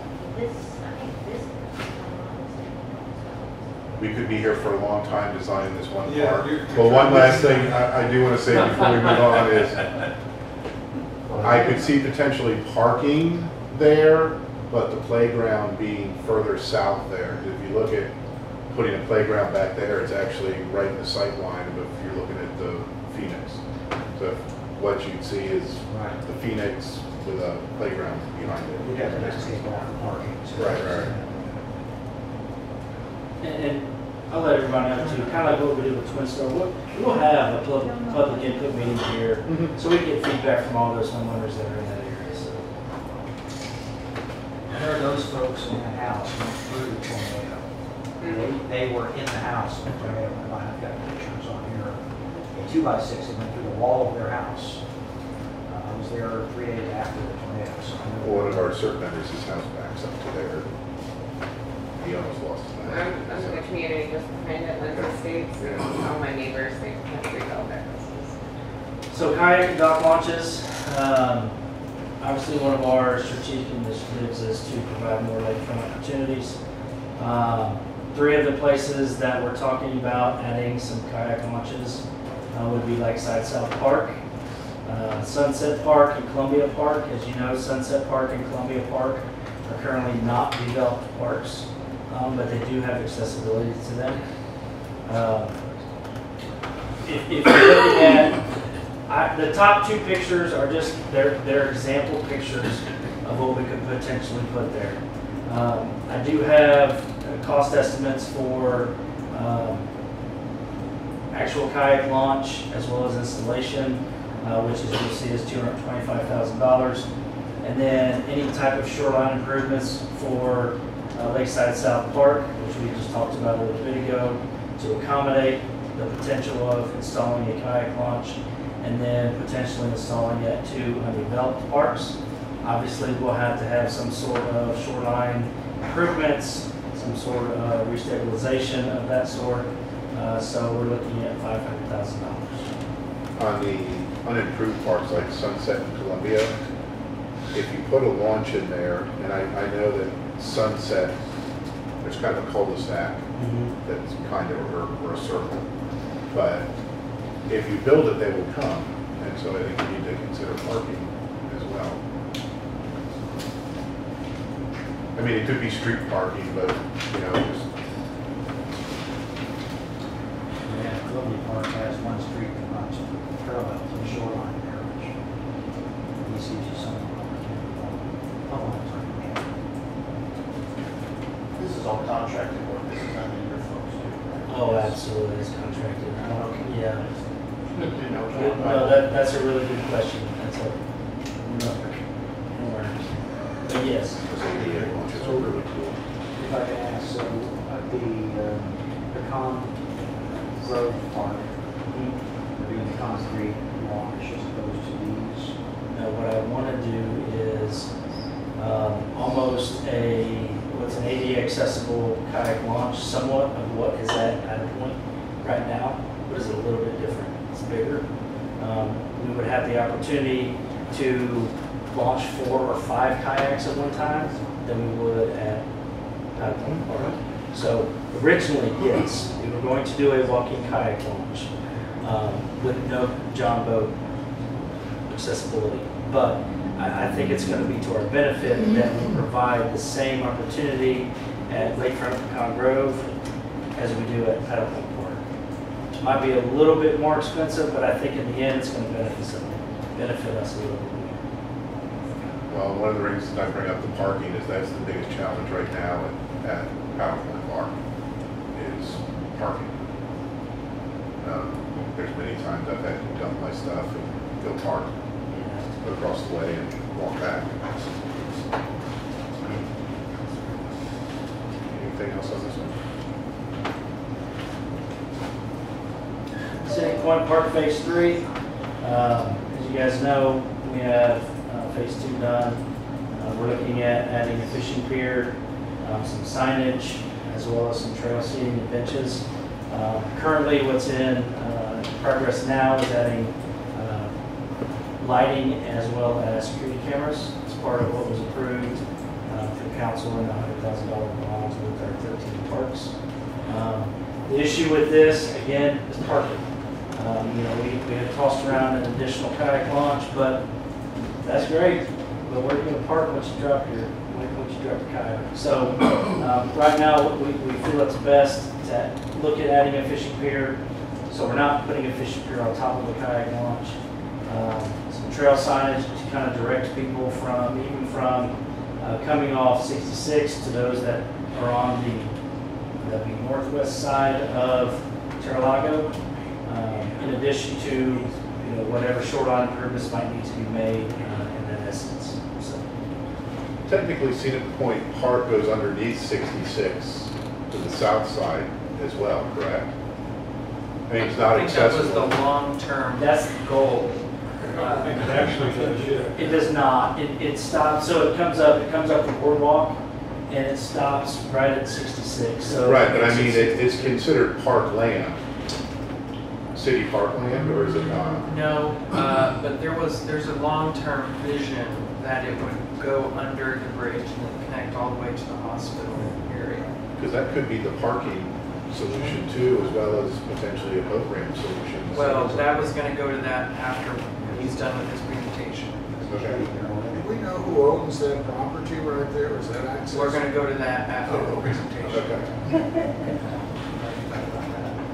Any questions on this before it goes on? Okay, go ahead. Uh, Rowlett Community Center Gym A, as I spoke on earlier, um, the, the life of the gym floor that is downstairs is on its last leg. Um, We typically, every two or three years, would come in, um, we would have it recoated, if you will, with polyurethane. Uh, Recently, we've had to sand it because we, because of the flood, the busted pipes. But literally, a gym floor is supposed to be that thick, our gym floor is like that thick. So we're starting to have uh, nails pop up, uh, which is becoming unsafe. Um, is- Isn't suitable for youth playing basketball, isn't suitable for seniors playing pickleball, anybody, to be honest, whether whether playing at the gym or whatnot. So what we're asking for is four hundred thousand. Um, That would replace, restripe the hardwood flooring, they'd come in, they'd rip everything out, put in new flooring, restripe it, repaint it, make everybody happy, the basketball players, the volleyball players, the pickleball players, um, basically we go back to the way it was, and as well as install six new glass backboards. So if you haven't been to the RCC, the two main goals are glass, the four side goals are, I don't know what they are, probably something back from, yeah. Uh, So we're, we're wanting to update those as well because our youth basketball plays sideways and then our older kids play full court. So it would just help with that. Um, Adding a gym divider would help as well. Um, The reason we would do that is because we are slowly starting to run out of programmable space. Um, So in order for us to try to continue to be sustainable, meet seventy percent sustainability, um, it will help us divide programs, but also allow us to provide open gym opportunities for our members, uh, which is important to us. Because on any given night, you can go there, there's, all the gyms are taken with basketball, there's ropes going on, we have different classes in the conference room, so we're kind of running out of space, so we're trying to be creative in. And you'll see the gym dividers in a lot of gyms throughout the country um, just because it helps divide the court in half. Um, interior painting, we've started to have some, um, some of the paint started to chip, some of the paint started to get old. Um, so that would be basically from the bottom level all the way up to the red iron, so everything would be repainted. Uh, and then lastly would be improved bleacher seating. If you guys come to rec center, we have the, the three-tier metal bleachers that we can't keep the end caps on, so they become a safety hazard. So we're looking at something a little bit more permanent. Um, maybe not so much what is in the bottom right-hand picture, something that's a little bit more, more safe and a little bit more suitable Those kind be like collapsible? So, yes, so the challenge with being collapsible is we're limited because of the space. So you see the ones that pull out, we could probably do a two or three tier, which doesn't extend as far. Um, you'll see that, that takes up probably a good 15 feet, but we can't put those on the sides because it runs into the court. So they would have to go on the east and west side of the court. Um, but what we're trying to do is make sure that people have enough seating when they come and watch their four, five, six, seven-year-old kid, to be honest. So, The only other thing is, is the interior painting. Again, that might be a maintenance thing. I don't know if we can bond on that.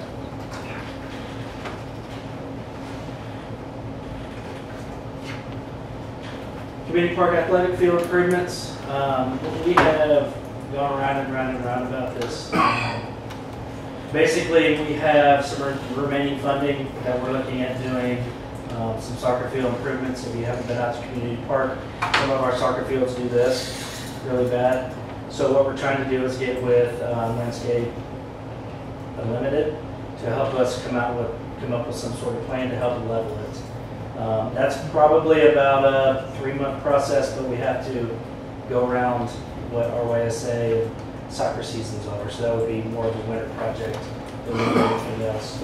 Um, We do have a basketball court out there, if you haven't seen it. It's just to the south of the restroom, front restroom, if you will. It needs, needs to be resurfaced. We want to upgrade the basketball hoops. They're the old plastic triple rimmed, rimmed, so when you hit it, it boing, and it bounces off kind of the cartoons. So we want to update that. Um, One of the biggest things we find out is, where am I going? Well, you're a community park. Where am I going? So we have soccer fields in the front, we have softball fields on the right, baseball fields on the left, more soccer fields in the back, a pavilion, a playground. It's such a big park that if you went in there, you wouldn't have any idea unless you go there all the time. So one of the things is we've talked to um, some designers who said there, there are um, wayfinding signage that we could install in the park, which would help us in the long run, make it easier for patrons when they come. So that's one of the things that, that we had talked about. Um, softball field renovations, we- we've discussed four, four full turf fields. Um, in, in my opinion, if you're gonna go turf, you need to go the entire field. It's not just a infield turf, outfield grass. I've seen a lot of issues with just having a artificial infield and a grass outfield. There's a lot of transition issues from dirt moving, so you're constantly having to do that. Whereas if you do a full turf field, everything's level. So there's no adjustments, there's no lips um, between infield and outfield, which would make it easier for people to, one, for us to maintain, two, wouldn't become some sort of a trip hazard. Um, If we did go to uh, turf fields, it would cut back on downtime for our ball fields. Um, It would cut down on cancellations, um, which would in turn bring us more revenue. However, with all of that comes equipment that is needed to maintain it. So we would have to purchase the equipment, yep, the brushes, so all of that would have to come into play if we decided to do that. Um, What we basically uh, came up with was $850,000 to a million dollars per field, and that is for the entire field. Um, Infield only is about $450,000, but again, that, that is some concern uh, with, even with some of the other cities and other entities we talked to.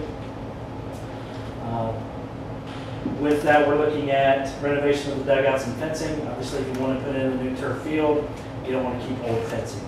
Um, The way our dugouts are designed now, they're not user-friendly. Um, A lot of the guys, I used to play out there, a lot of the guys like to hang on the fence posts and do pull-ups, and chin-ups, and come and, you know, bang their bats and everything else. So we would obviously have to widen the dugouts, update those amenities. Uh, In addition to that, the concession stand and the restroom that are out there, we would like to upgrade as well.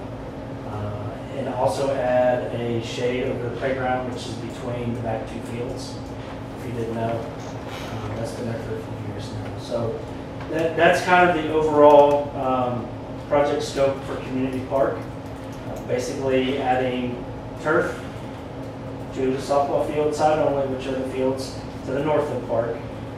Um, In the future, we would look at adding turf fields to the south. Um, But right now, we generate more activity on that side of the, the complex than we do on the south side.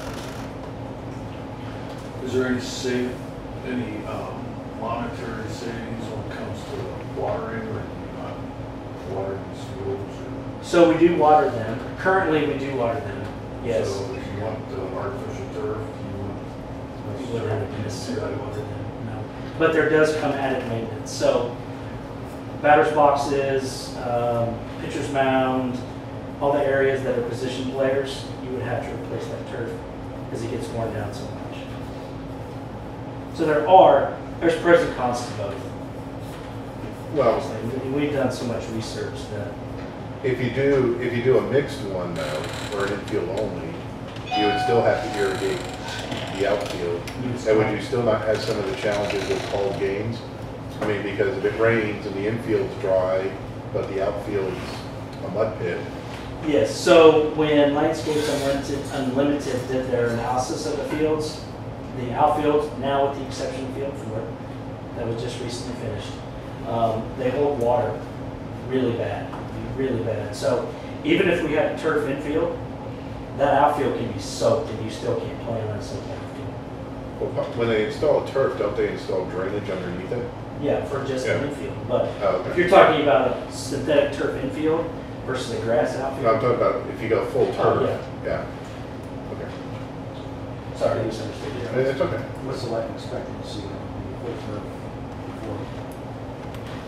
Before it has to be, And I- I've had, I had the privilege- of having lots of conversation with Mike Ladd on this. So the first installation, you've gotta do a lot of sub work. The second installation, you got to basically fine carpet and fill on top. Uh, So the first installation, you're talking three point four million dollars, to do all four fields in the uh, softball complex. What's the average life of that? And uh, get- Getting to the the annual maintenance cost and the um, appreciated cost of the turf over the life of the so we, some, from all of the, um, all of the, I guess, research we've done, 13 to 15 years is expected life. However, you're replacing those certain worn out areas, year, year and a half in. Uh, So that would have to be taken into consideration as well. Because right now, we're on a plan to do a four-year rotation on the dirt fields to do 11, what we're doing the first field. But we did field four? Yes. Correct. In addition to wet zone, this is also, as I understand it, a revenue generator for Parks Department.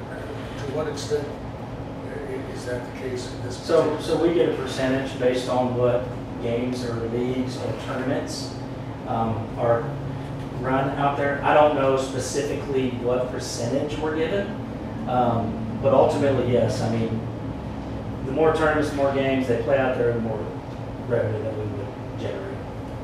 Up back off of that one, um, do any other cities around us have turf baseball fields? So, my park superintendent has visited about four or five different cities.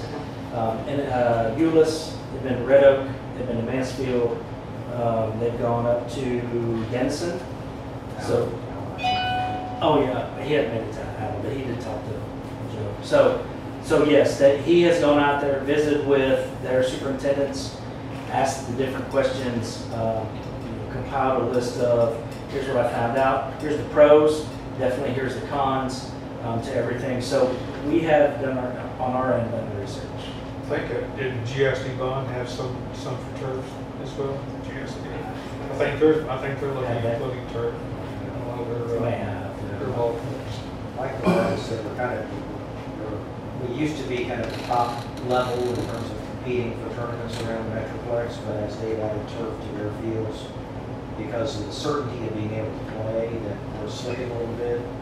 And the leveling of the fields is going to help us because they can recover more quickly the whole water badly, but it kind of becomes a question of competitive edge. It is a revenue generator, although I think probably still a net negative overall. Maybe find ways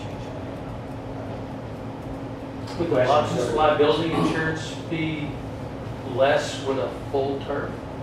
No? I don't believe so. So let me, let me ask you this. You say if we go full turf and come back up on, on, up to speed with being a revenue generating item, would that revenue be used then to go ahead and do those replacements, those biannual replacements of your batter's box and things like that versus? Yeah, some, some of it would, absolutely. Um, you know, not, not only with that, but trying to keep that whole, that whole area up to speed. Um, you do have to buy the extra carpet, if you will. Um, so, you know, that is one thing that, that would be purchased with some of that stuff. I think, to your point, any revenue generated from the parks has to go back into parks. You did mention there would be additional equipment for maintenance. Is that included in this, or do we have any, I mean, is it a significant amount? So it would be the brush, like you talked about. I don't, I don't know specifics. I can get all that. Uh, some of, some of it is attachments that potentially we could purchase that would attach to our current Toros that we have, Sand Pros, if you will. Um, so, yeah, I, I could definitely find that out and see how much that would cost. I think to Eric's point is that that would be, you should include that in the package for shifting the turf. You're gonna need that equipment to maintain it. And I think that could be classified as capital purchase. Oh, yeah, yeah, absolutely. Um, you- Hopefully in the last 20 years. we Get a whole ROI on this. Then again, I don't know that turf lasts 20 years. That's also the challenge. Mm-hmm. But it is, it is a big enough project that we just simply couldn't afford it in our O- O&Ms.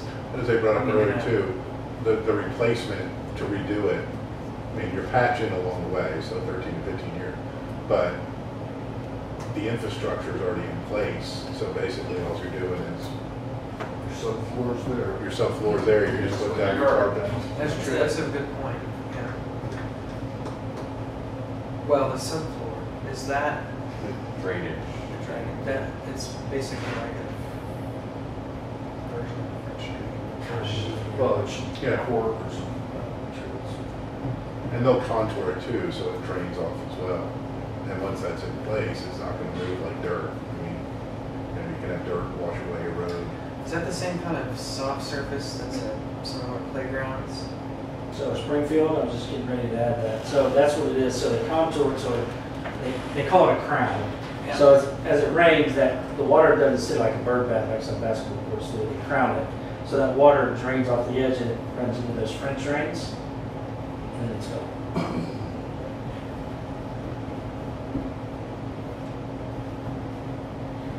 You just get a roll of turf and just spray it on. There we go. There it is. Easy as that. Anything else before we go? Go ahead. So Kids Kingdom, um, as you guys know, this is the absolute most popular amenity in the city of Rowlett. Um, on any given day, there could be 200 people, kids at this place. Um, and unfortunately, with that much traffic, sometimes comes with wear and tear. Um, we're asking for $1 million, and that is to help replace some of the surface. And I'll tell you, because if you see in the bottom left-hand picture, and then the bottom right-hand picture, it's all starting to wear away. Even after we just fixed it? So then that gets to the question of, is, do we need to think about another surface? So we've talked about going to turf, uh, which is what we've done at, which is what we, we talked about, which is what we've done at Springfield and, um, Twin Star. But we felt more comfortable with going back with some sort of service like this, or there are other services of which we have not researched that are out there that we could implement. Because my thing is, you know, continuing to, to bond out for something that doesn't even last a year, two years, is not financially responsible. So what, what is the financially responsible thing to do? If this product isn't working, what is, what is a better solution? Or do we just need to go back to the mulch? You know, is mulch, is mulch the answer because that is cheap to maintain? It's a little muddy. It's not as nice as this, but we don't, we don't have the money, it seems like, to be, to have this kind of surface for such a high use park. It's very different than Twin Star or a park like that that's not getting as much use in Kids Kingdom, but this is a regional destination playground. And so I would challenge you to go back and think about other solutions than continuing to sink money into a product that we know does not last. When I was growing up, he just fell on the ground. Huh? Yeah. fell off the metal jungle gym onto the ground. Limit the weight of your children to twenty pounds. But yeah, I, I tend to agree. I kind of like the old uh, wood chip, but it does reduce accessibility. It does. It does, and that, and, but the thing is, a million dollars every three years for a surface we know is not going to last. We, I mean, we, we just fixed this surface last year, last year, and now we're having to do it again. We, Are there areas that are going to wear more frequently or more quickly than other areas, or is it just in general? It's, I mean, really, the only place you're gonna find more place that hasn't been used is underneath all of the equipment. I mean, underneath the bridges where, because everywhere else, from the dinosaur dig to the swings to All the little feet run all over. just all over the place, and and it's, it's just a high traffic park, and absolutely, we, we would definitely go back and, you know, find out whatever solutions we, we may have, but even with four in place, you're still having to put protected down every eighteen months. That's the recommended, yeah, and that was pretty expensive. yeah. I was, I noticed something about broken slats and, and part of your listing there. Are these safety concerns that someone will be injured or how, how- what is, what's? So I couldn't fit the other picture on here, so one of the slats is on the side, so there's a, there's a, there's a chip, You mean the fence? not on the fence, but on one, of the- on the side of the playground feature. Um, It is not a safety hazard. We, we just had all, had all of our playgrounds inspected by third-party company who's certified. That- That's, that's not a safety hazard. So it's more of the ones that are starting to bow, um, the ones that have little chips in them. They, they have to go around there. Yeah, that needs to be replaced. What about rubber mulch? Wait, hold on, you said you- you have something. So I do have some concerns because the long-term constant exposure to turf, um, it- turf does con- contain carcinogens. Um, and I, as a mother myself, have a child on a playground. I mean, we have our own, but ev- almost every single day. Um, and we've got daycares that are going there every week, constant exposure. So highly don't recommend turf on that. I, I have not looked on, because we did our own research for our own playground. I haven't looked on the rubber mulch. We just decided to stick with the grass and install our French drains. Um, but do have concern with that turf on a playground. Um, my other question is, is because this is a destination playground, why is the priority not higher? Because we've already sunk so much money into the dang thing? I mean- So, so here's the thing, so, and I'll give you a perfect example. The, the piece in the top left-hand corner, all of the stuff is recently starting to crack, if you will. We have different funding that we're trying to replace these pieces with. Um, Over time, all of those pieces on that playground are going to be replaced. Um, So we're currently in the process of looking for a replacement piece for that top, and the top left-hand corner, and the little spider climber thing that's on the bottom right, that's been closed forever. The issue that we're running into is a lot of these pieces of equipment are not made anymore. So you cannot find replacement pieces for it. So you're basically stuck trying to have to figure out what you're gonna put in place of that.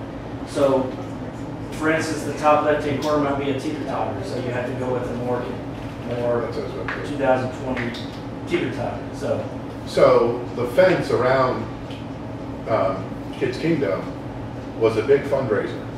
They sold slats. I mean, I've got a couple of them up there. Have we looked into doing that or something similar as well to, That doesn't really raise enough money to do anything meaningful.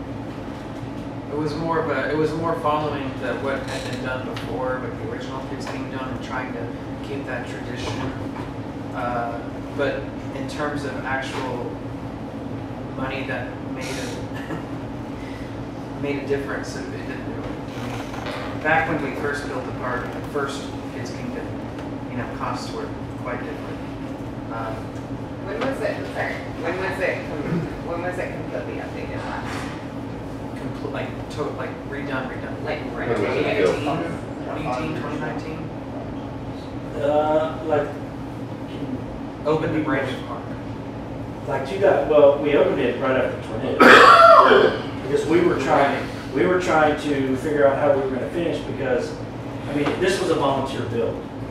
Um, so, you know, with any volunteer, myself included, I'm a volunteer for our youth sports. There comes a point where you're like, nah, I'm not gonna do this. So we, we tried to finish with staff, but as soon as the tornado hit, it was like, what are we gonna do? Um, so we probably for the last three weeks, along with, um, the, the company that came down to help us, we finished it. Um, But we try to do, I mean, obviously we had to do inspections. Um, we try to stay on top of everything that we can, you know, with this, this playground. Um, so, you know, as far as replacing some of these pieces, we haven't really replaced any of those pieces. And then again, just learning the history, has Kids Kingdom ever been a part of a bond in history? I mean, it wasn't it part of the uh, 2015 bond election? So I'd have to go back. yeah, because I, I think part, as I recall, part of it was, was funded by the city and then Yeah. part was, was Which is why I donated to the private. fundraiser. Yeah, yeah. Like Home Depot donated money. and Right. other- But to the surface issue, I'm thinking it may be worth completely, like, gonna, just getting rid of that. It's gonna probably cost quite a bit, but in the long run, it will save us a million dollars a year. Um, and maybe something like the rubber mulch that holds up a lot better than your traditional wood mulch. We definitely can get some options. Yeah, I don't know. And corn clay just isn't anymore. And, and just as a citizen myself, a lot of, you know, the complaints that I hear is why do we continue building new parks when we can't maintain the current ones that we have that are so popular, right? Um, so that's. That's, yeah, we hear that, yeah. Yeah.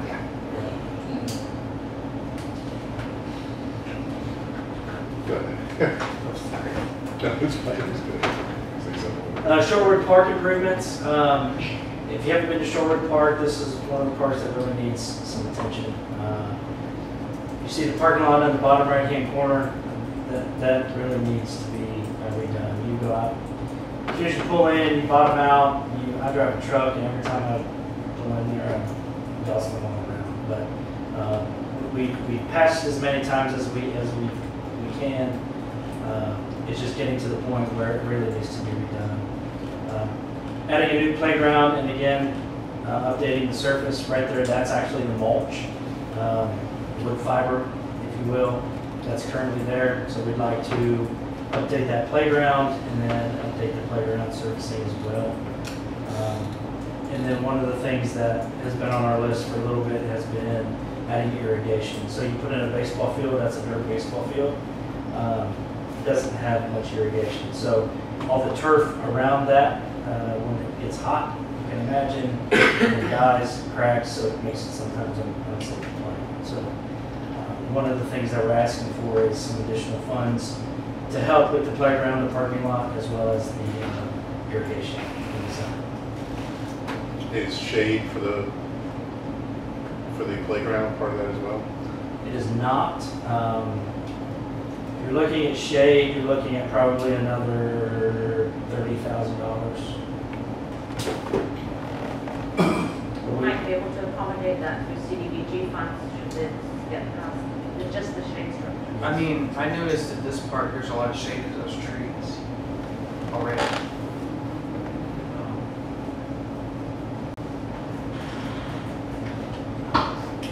Just something to look into. Yeah, no, a- a- absolutely, absolutely. You know, we likes the hot spots.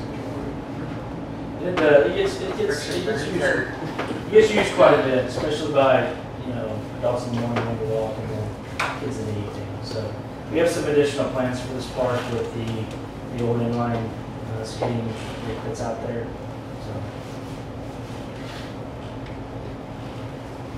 And then lastly is the additional wing to the RCC. Um, We have, again, like I said earlier, reached almost capacity of what we're trying to do. So one of the things that we would like to do is add on an additional wing for one of two reasons. One, to either put um, additional programming spaces at the RCC or move our current weight room to that section of the building.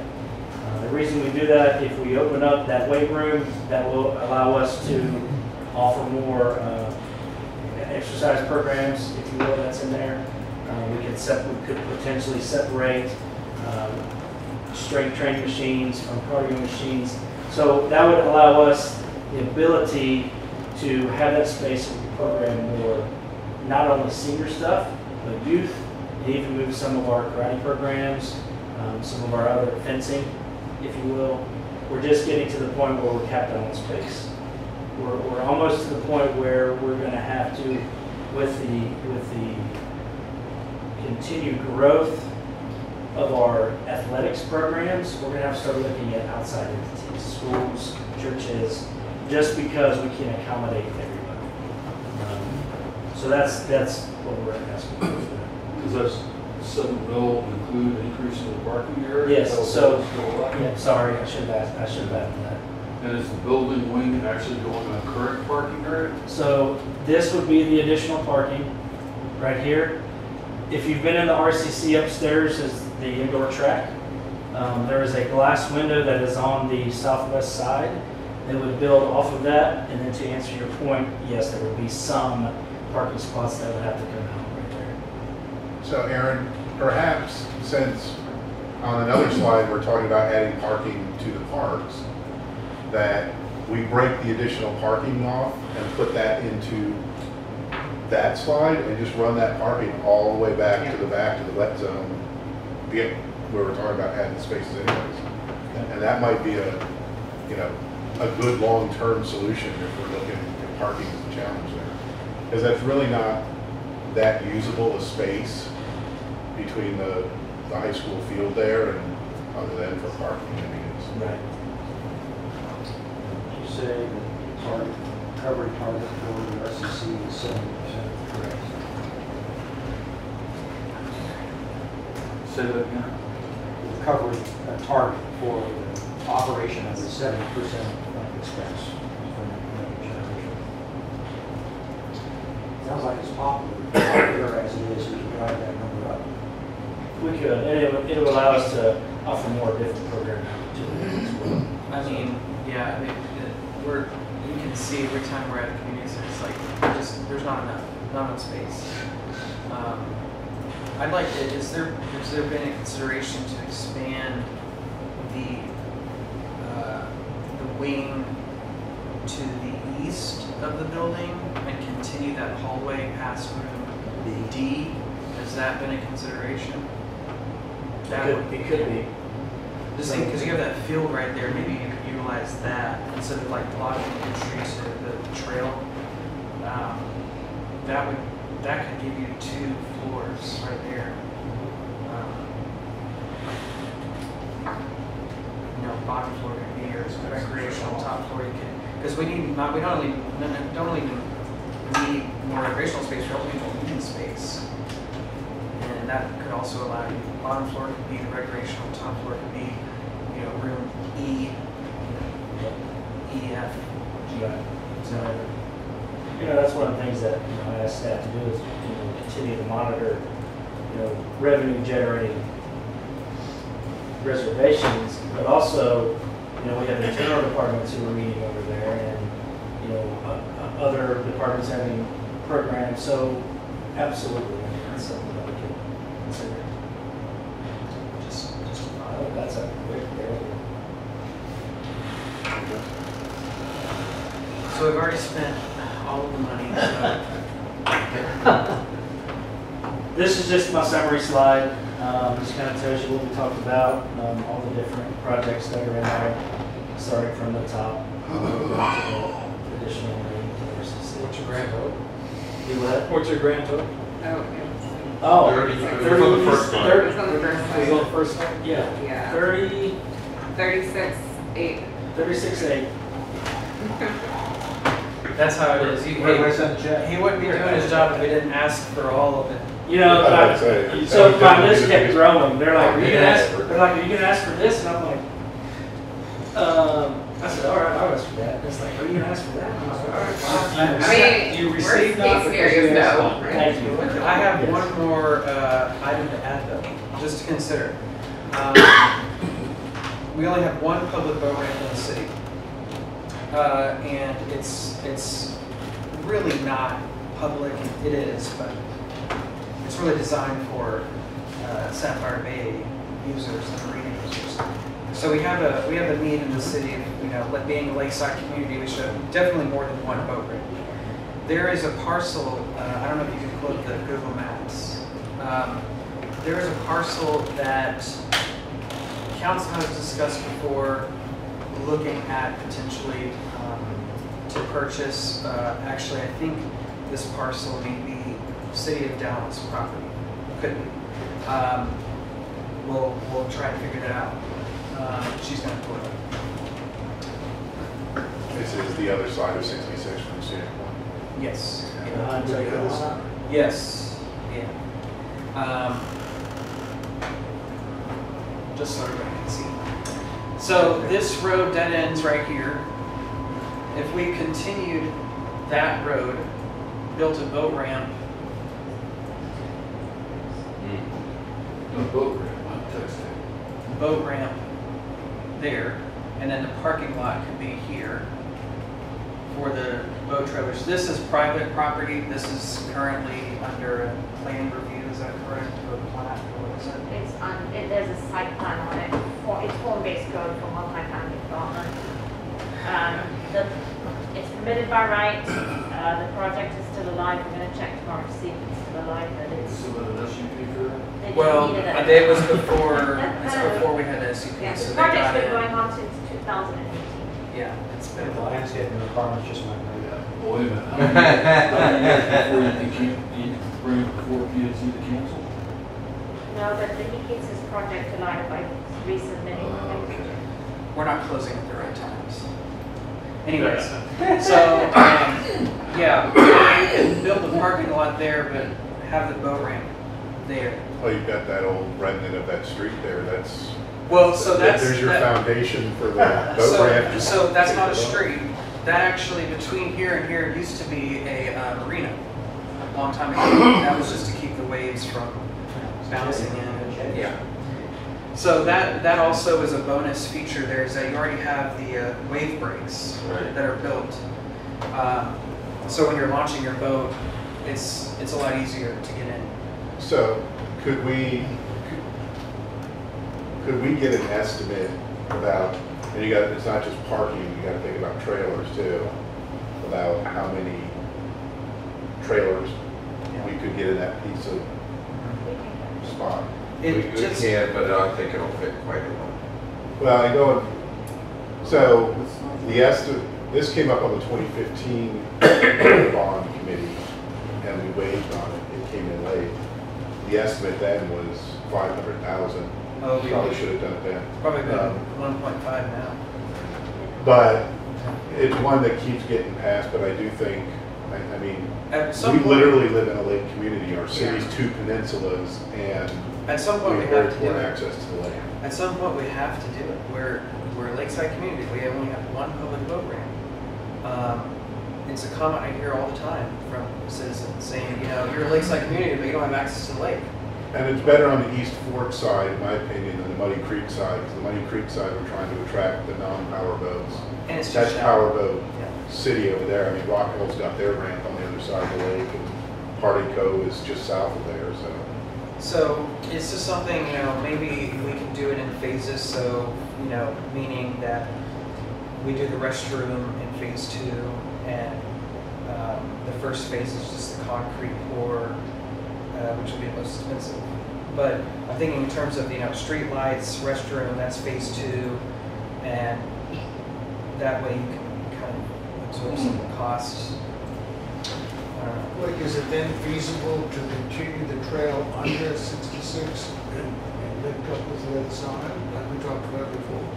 Yeah, I mean, absolutely, that's, that's more, that, I don't know that, we're already looking at one point five mil for that.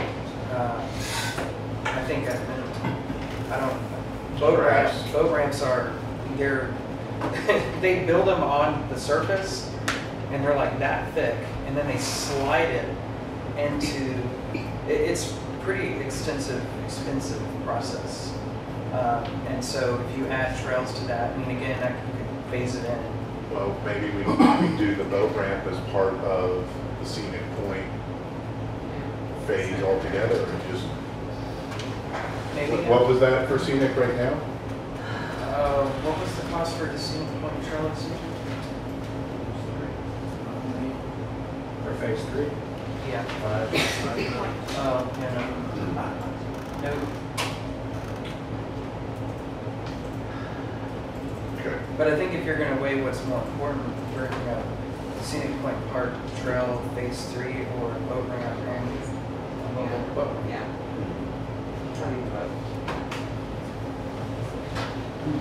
I mean, I like scenic point, but I look at that more as for the folks who live over there.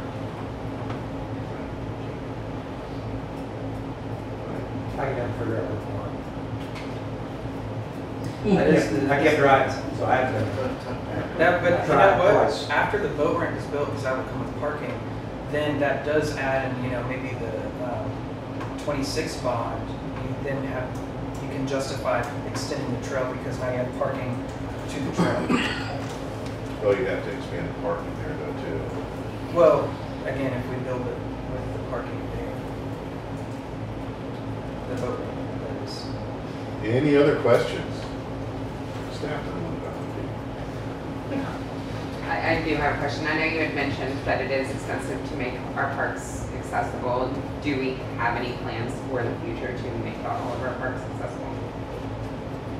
We, we do, yes.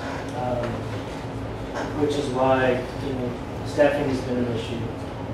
Um, We're, we're trying to come up with smarter and and safer ways to do business. Um, One of the things that we've done recently is contracted with a certified playground inspection company who will come out and inspect everything and then provide us some insight and some planning for the future. So, yes, and we would definitely keep that in mind with Herfurth and any new project that we have coming up. To the list. I saw some uh, usage numbers, if possible, if we're trying to do some kind of a, what am I, what boss call it, the splitty eye binocular count, where you're, when you're out there mowing, you take a look and just do head count, kind of start to track We're at. all of it. So, yes, And you got, obviously, you know, wet zone. So we have, wet zone's easy. Um, I would tell you that we did buy trail counters, um, five of them to be exact, and all five of them were sold. Wait, What, what do you use the trail counter for? So, so, so one, to, to track, so one of the big things was is, I wanted to know how many people were going in and out of Kids Kingdom. So we put a trail counter literally hidden, hidden behind one of the slats. But I have layer tag in that thing. They stole it. We put it on a tree, so I went and knocked it down and they took it. I have. So, you know, it, it's being conspicuous about it, but also trying to put it up there. They know they're- Trying to figure out, what is someone that would use a trail Yeah. Does it look like a, like a game camera or something? Not, not necessarily, no. Um, I mean, yeah, I don't, I don't know, but it would have come in really handy. for us, you know, with trails and with usage on, on parks and, you know, even trying to put it in some of the entrances to, you know, community or, I would think parks would be, we should look at it as something that should be. we are. That's, That's, we currently are doing that right now. I did see the other day, the assistant fire chief, um, assistant fire marshal was out when we got Earth Day out here with the drone. And he was doing photography with the drone, then he'd go back later and say, okay, two hundred and fifty people. two officers, sure. Um, Just one last item before um, we call it an evening. Any final logistics things for Saturday? They want to cover? Good question. Um, Well, the best I Do we have an? I would send What? an email with this definition. I Okay. don't, actually, that was a joke. Speak I don't up. know if the bus. Yeah, I'll send a, I'll send an email if. If Okay. There's a, there's a bus. We're getting on a bus, yeah. Yeah. But it's, a- it's, it's not No, a it's school like one of bus. those. no, it's a, it's a short coach. Okay. has a light. Coach. That's it. And a pulpit.